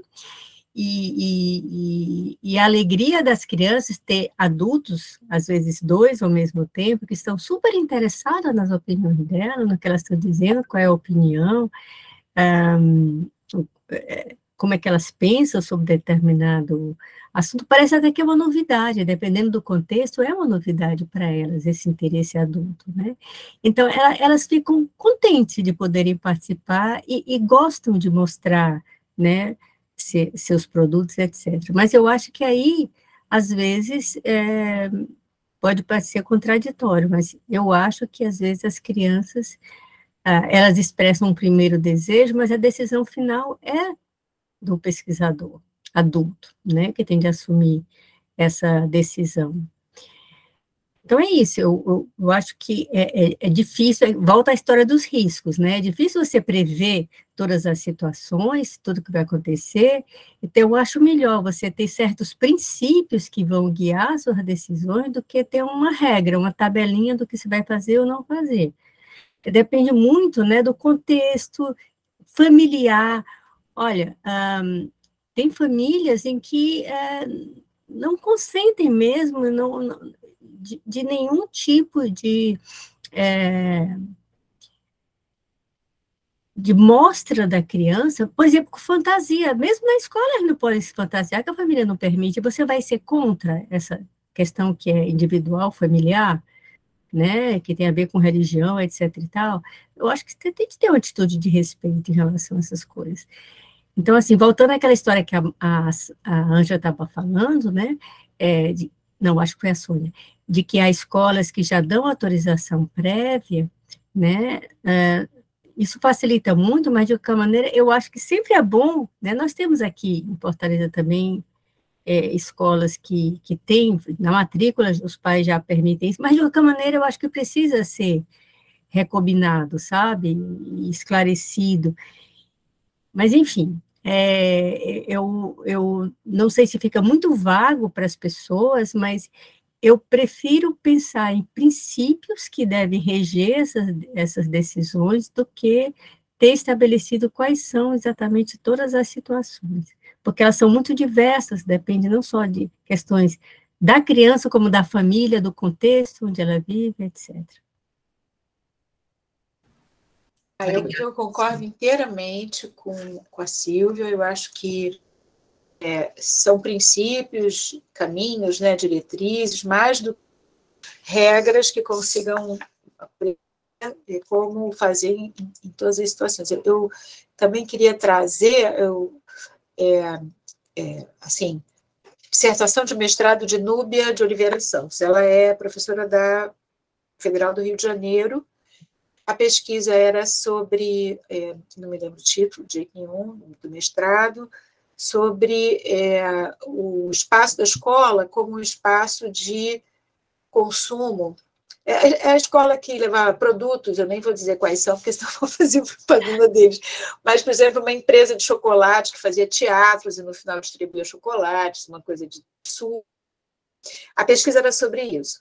Mas, e ela anotava, então não vou nem falar de imagem, acho que essa questão que a, que a Silvia coloca, ela existe mesmo, até mesmo quando você está, como pesquisador, registrando, né? então está registrando, registrando, registrando, e acontece uma situação, de novo, você não prevê que ela vai acontecer, de uma menina que está relatando uma situação, é, enfim, de um crime ou, ou alguma coisa muito violenta que acontece na família, na, esfera doméstica, e ela olha, ela tinha cinco anos, ela olha para a pesquisadora e diz: Ei, você não pode escrever isso aí, não. E aí ela para de escrever e diz: Não, eu não vou escrever. Você não vai escrever. Ela sabe que ela está fazendo pesquisa. Você não vai botar isso no, uhum. no seu. Isso mesmo, obrigada. Infância, práticas culturais e consumo ela estava fazendo na PUC também, essa pesquisa, e, e, aí eu queria, me aproveitando dessa pergunta desse, e dessa, desse trabalho dela, o, o que, que ela faz? Eu já vi isso em outras pesquisas também. A solução para essas situações de conflito ético é uma solução de linguagem. Como que eu vou escrever isso que aconteceu? Sem contar o que a criança não quer que seja contado, que a pesquisa está autorizada, mas ela não quer que seja contado aquilo que ela está falando. Ela tem noção que aquilo é, ela tem vergonha daquilo que aconteceu. Ela não gosta, ela não quer. Então, e a, assim, a pesquisadora relata que aconteceu a situação, que ela, ela disse, não vou, eu não vou escrever mais nada, eu não vou escrever, eu não sabia que você ia escreve e não aparece é, do que do que que é. Né? Ela, ela assim tem uma aliança e um respeito muito grande. Então acho que de novo é, é esse é, você tem toda a razão, Silvia, mesmo quando já está isso não basta, isso não, não, envolveu a criança, não foi a criança que, que autorizou. E se a gente tem um ambiente que diz isso porque tem a professora, aquele contexto, espontaneamente diz, não quero. Muito, muito interessante isso, né? que revela quem é essa criança e o pesquisador não pode, não pode escrever. É, eu, na hora que caí, caí não no sentido político, no sentido meramente internet, eu me lembrei também de uma pesquisa, é, a gente estava falando de retorno ainda, mas isso quando é, a, a, o processo respeita as crianças, as crianças maiores, já não crianças tão infantil, estou me lembrando do trabalho da Gabriela Scramignon, que, de doutorado, ela é professora da Unirio, é, que traz um capítulo onde ela faz a apresentação às crianças, e isso vira um capítulo da própria tese. Né? Então, ela devolve, que isso é muito difícil você fazer. Se é difícil devolver, ela faz uma apresentação, a pesquisa é o que as crianças pensam da pesquisa, que as crianças pensam dos adultos, e ela traz esse capítulo para dentro do trabalho. Né? Então, são assim, eu acho que são caminhos que as pesquisadoras, os pesquisadores acabam encontrando. Né? É, eu estava eu tava olhando aqui a, um, um texto do pequeno tem um texto muito bonito sobre ética do de Conde e ele nos lembra, né, que ethos em grego e mores em latim costumes. É, é, então isso está no livro dele. Puxa, eu botei a referência aqui. O livro não chama é, é sobre ideologia, mas o capítulo é da ética. Então assim, se é, ética mais até do que moral, tem a ver com costumes, trata-se muito mais do que as regras amarradas de costumes éticos, né? que você é, institui, que você, como que você vai praticando, né? E, e, e, combinados, né? como a gente fala com as crianças, mas a palavra é ótima, né? Que, que, que compromissos você assume, que combinados fazendo. com as crianças. Ótimo, Sônia. O, a referência do livro do Leandro Conder está no teu texto. Quem quiser, olha lá, que está lá nas referências bibliográficas. Eu estava colando no texto, eu estava olhando. Depois as pessoas pegam lá inteirinha, quem tiver interesse. É, eu vou, gente, sim, o nosso tempo está finalizando, né? Passou super rápido, a gente pensa, nossa, duas horas, mas passa muito rápido, porque enfim, né? A conversa é boa, as questões são interessantes. Então, eu só vou ler assim três comentários que estão aqui no chat e depois vou pedir para Sônia e Silvia se despedirem, né? E a gente encerra. Uhum. E Jefferson, se quiser também aqui dar uma palavrinha final para encerrar as atividades. Então, a, é, uma questão que o Jefferson lembrou é que no próximo e-book também vai ter um, um verbete sobre o uso de imagens, né? Assim, muitas coisas que a gente conversou hoje aqui é, estará lá no próximo e-book. A Tânia na área Pacífico é, fez um comentário, ela diz que acredita ser imprescindível acrescentar e aprofundar o cuidado com as crianças negras e a necessidade de todas as pesquisadoras e todos os pesquisadores estudarem o letramento racial, né? É, a branquitude precisa ser estudada e considerada nas pesquisas com crianças. A é, Lurdinha Barreto fez um comentário sobre as crianças têm o direito de serem ouvidas, pesquisadas, não só como alunos, mas como membros da sociedade. E a Maria Raquel Barreto Pinto, que eu sei que fez uma pesquisa com crianças no ensino fundamental, ouvindo as crianças sobre o brincar, é, destaca aqui da, da importância que com crianças maiores também se pergunte se querem ter a sua imagem, as suas produções divulgadas, né? E quais imagens e produções querem ter divulgadas, né? Muitas vezes a gente esquece de perguntar para elas, mesmo tendo autorização dos responsáveis, né? Que é um pouco na direção do que vocês acabaram de, é, de comentar. Eu penso que em termos de é, comentários é isso, né? Tem muitas, muitos elogios aqui, agradecendo esse momento, agradecendo as falas. A Natália fez um comentário também, agradeceu pela partilha tão rica e estimulante. A ética é um rio de desafios e dilemas que se fortalece com esses debates. A gente que agradece, Natália, de estares aqui conosco. É, bom, Silvia e Sônia, se quiserem uma palavrinha final, a gente já agradece mais uma vez. Bom, é, nessa palavrinha final, eu queria reforçar o agradecimento um, por ter sido convidada, mas eu queria, principalmente agora, era dar os parabéns para a Ampere por esse trabalho já de tantos anos, né? Coordenado aí pelo Jefferson, promovendo encontros, promovendo publicações, discussões, então, acho que um, a nossa entidade científica né, tem cuidado bem desse tema, né?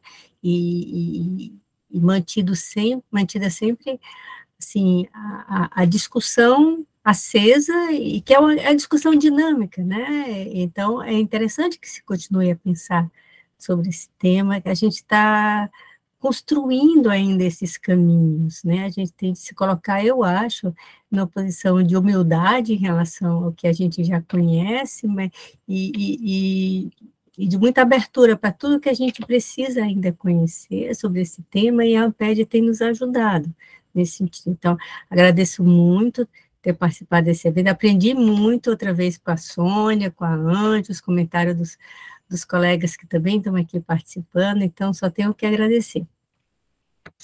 Eu, eu, também agradeço muitíssimo aí o convite, a confiança, Ângela, Jefferson, muito obrigada. Você, mesmo com o convite aí quando a gente fez o verbete, foi, foi muito importante. A gente estudou muito, Alexandre e eu. Eu também, como Silvia, acho que foi um, um debate muito sensível, muito de muito aprendizado, né? Muitas muito relevantes. Então, também fico Fico muito honrada, muito feliz aí, Ângela. E Silvia, que é uma alegria, pessoal, muito, muita alegria, né? Ter você, estar junto de você, enfim, foi muito, muito bom. Muito obrigada mesmo. Parabéns aí a vocês, porque não é fácil esse tema. E a gente pode ir construindo pouquinhos. Obrigada, queridas. Assim, dizer uma coisa em público é muito bom quando a gente tem intelectuais, assim, pessoas tão importantes, tão engajadas e também é, com essa leveza, né? Assim, com esse jeito de estar no mundo de vocês, assim, é uma alegria partilhar esse espaço com vocês e outros. É, vocês são inspiração, né? Assim, eu acho que eu sou de, de uma geração que foi formada por vocês, né? Assim, de, e muitas outras têm sido formadas. E é muito bom olhar assim para Amped, olhar para a área e perceber que a gente tem figuras como vocês, pessoas como vocês, né, que estão aí produzindo pesquisa há muitos anos, na luta, né, defendendo assim o nosso país democraticamente, com bandeiras importantes, né, em favor da educação, das crianças, das profissionais da educação, e com essa leveza toda, com todo esse afeto. Então, Obrigada, de verdade, foi um encontro bem especial, muito especial mesmo. E também, assim, agradecer de público também o Jefferson, né? Tem outros colegas aqui que são do, do da comissão de ética, e é, o Jefferson tem esse perfil bastante ativo, é por isso que essa, que essa comissão é bastante ativa também, ele movimenta bastante a gente, né, mas também sempre com esse modo bastante cuidadoso. Então, agradecer aos colegas, ao Jefferson, e Jefferson, pode finalizar aí o nosso último encontro de 2022.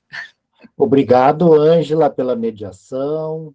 Agradeço muito também a Silvia e a Sônia. Foi um encontro muito bonito, muito emocionante.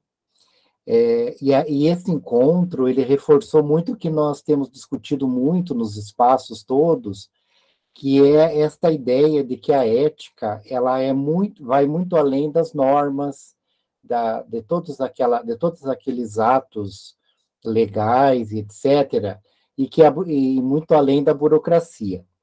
E de tudo que foi dito aqui, eu selecionei algumas palavras que me marcaram muito desse encontro. Criança, respeito, cuidado, participação, consentimento.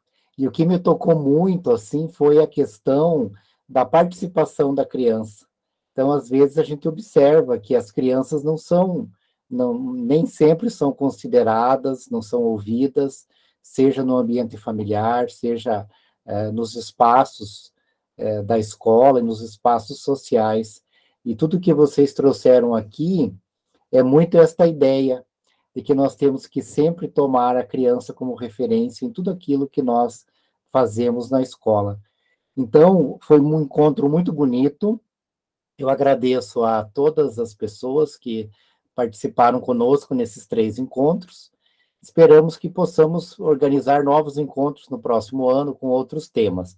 Mas este tema da ética e da pesquisa com crianças certamente é um tema que merece muito o nosso olhar, o nosso espaço, é, para que nós possamos aprender juntos sobre esta questão da pesquisa com crianças.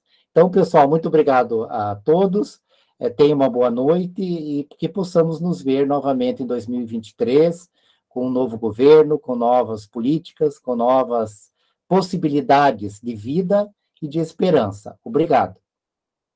Obrigada. Tchau, gente. Até uma próxima. Obrigada, tchau.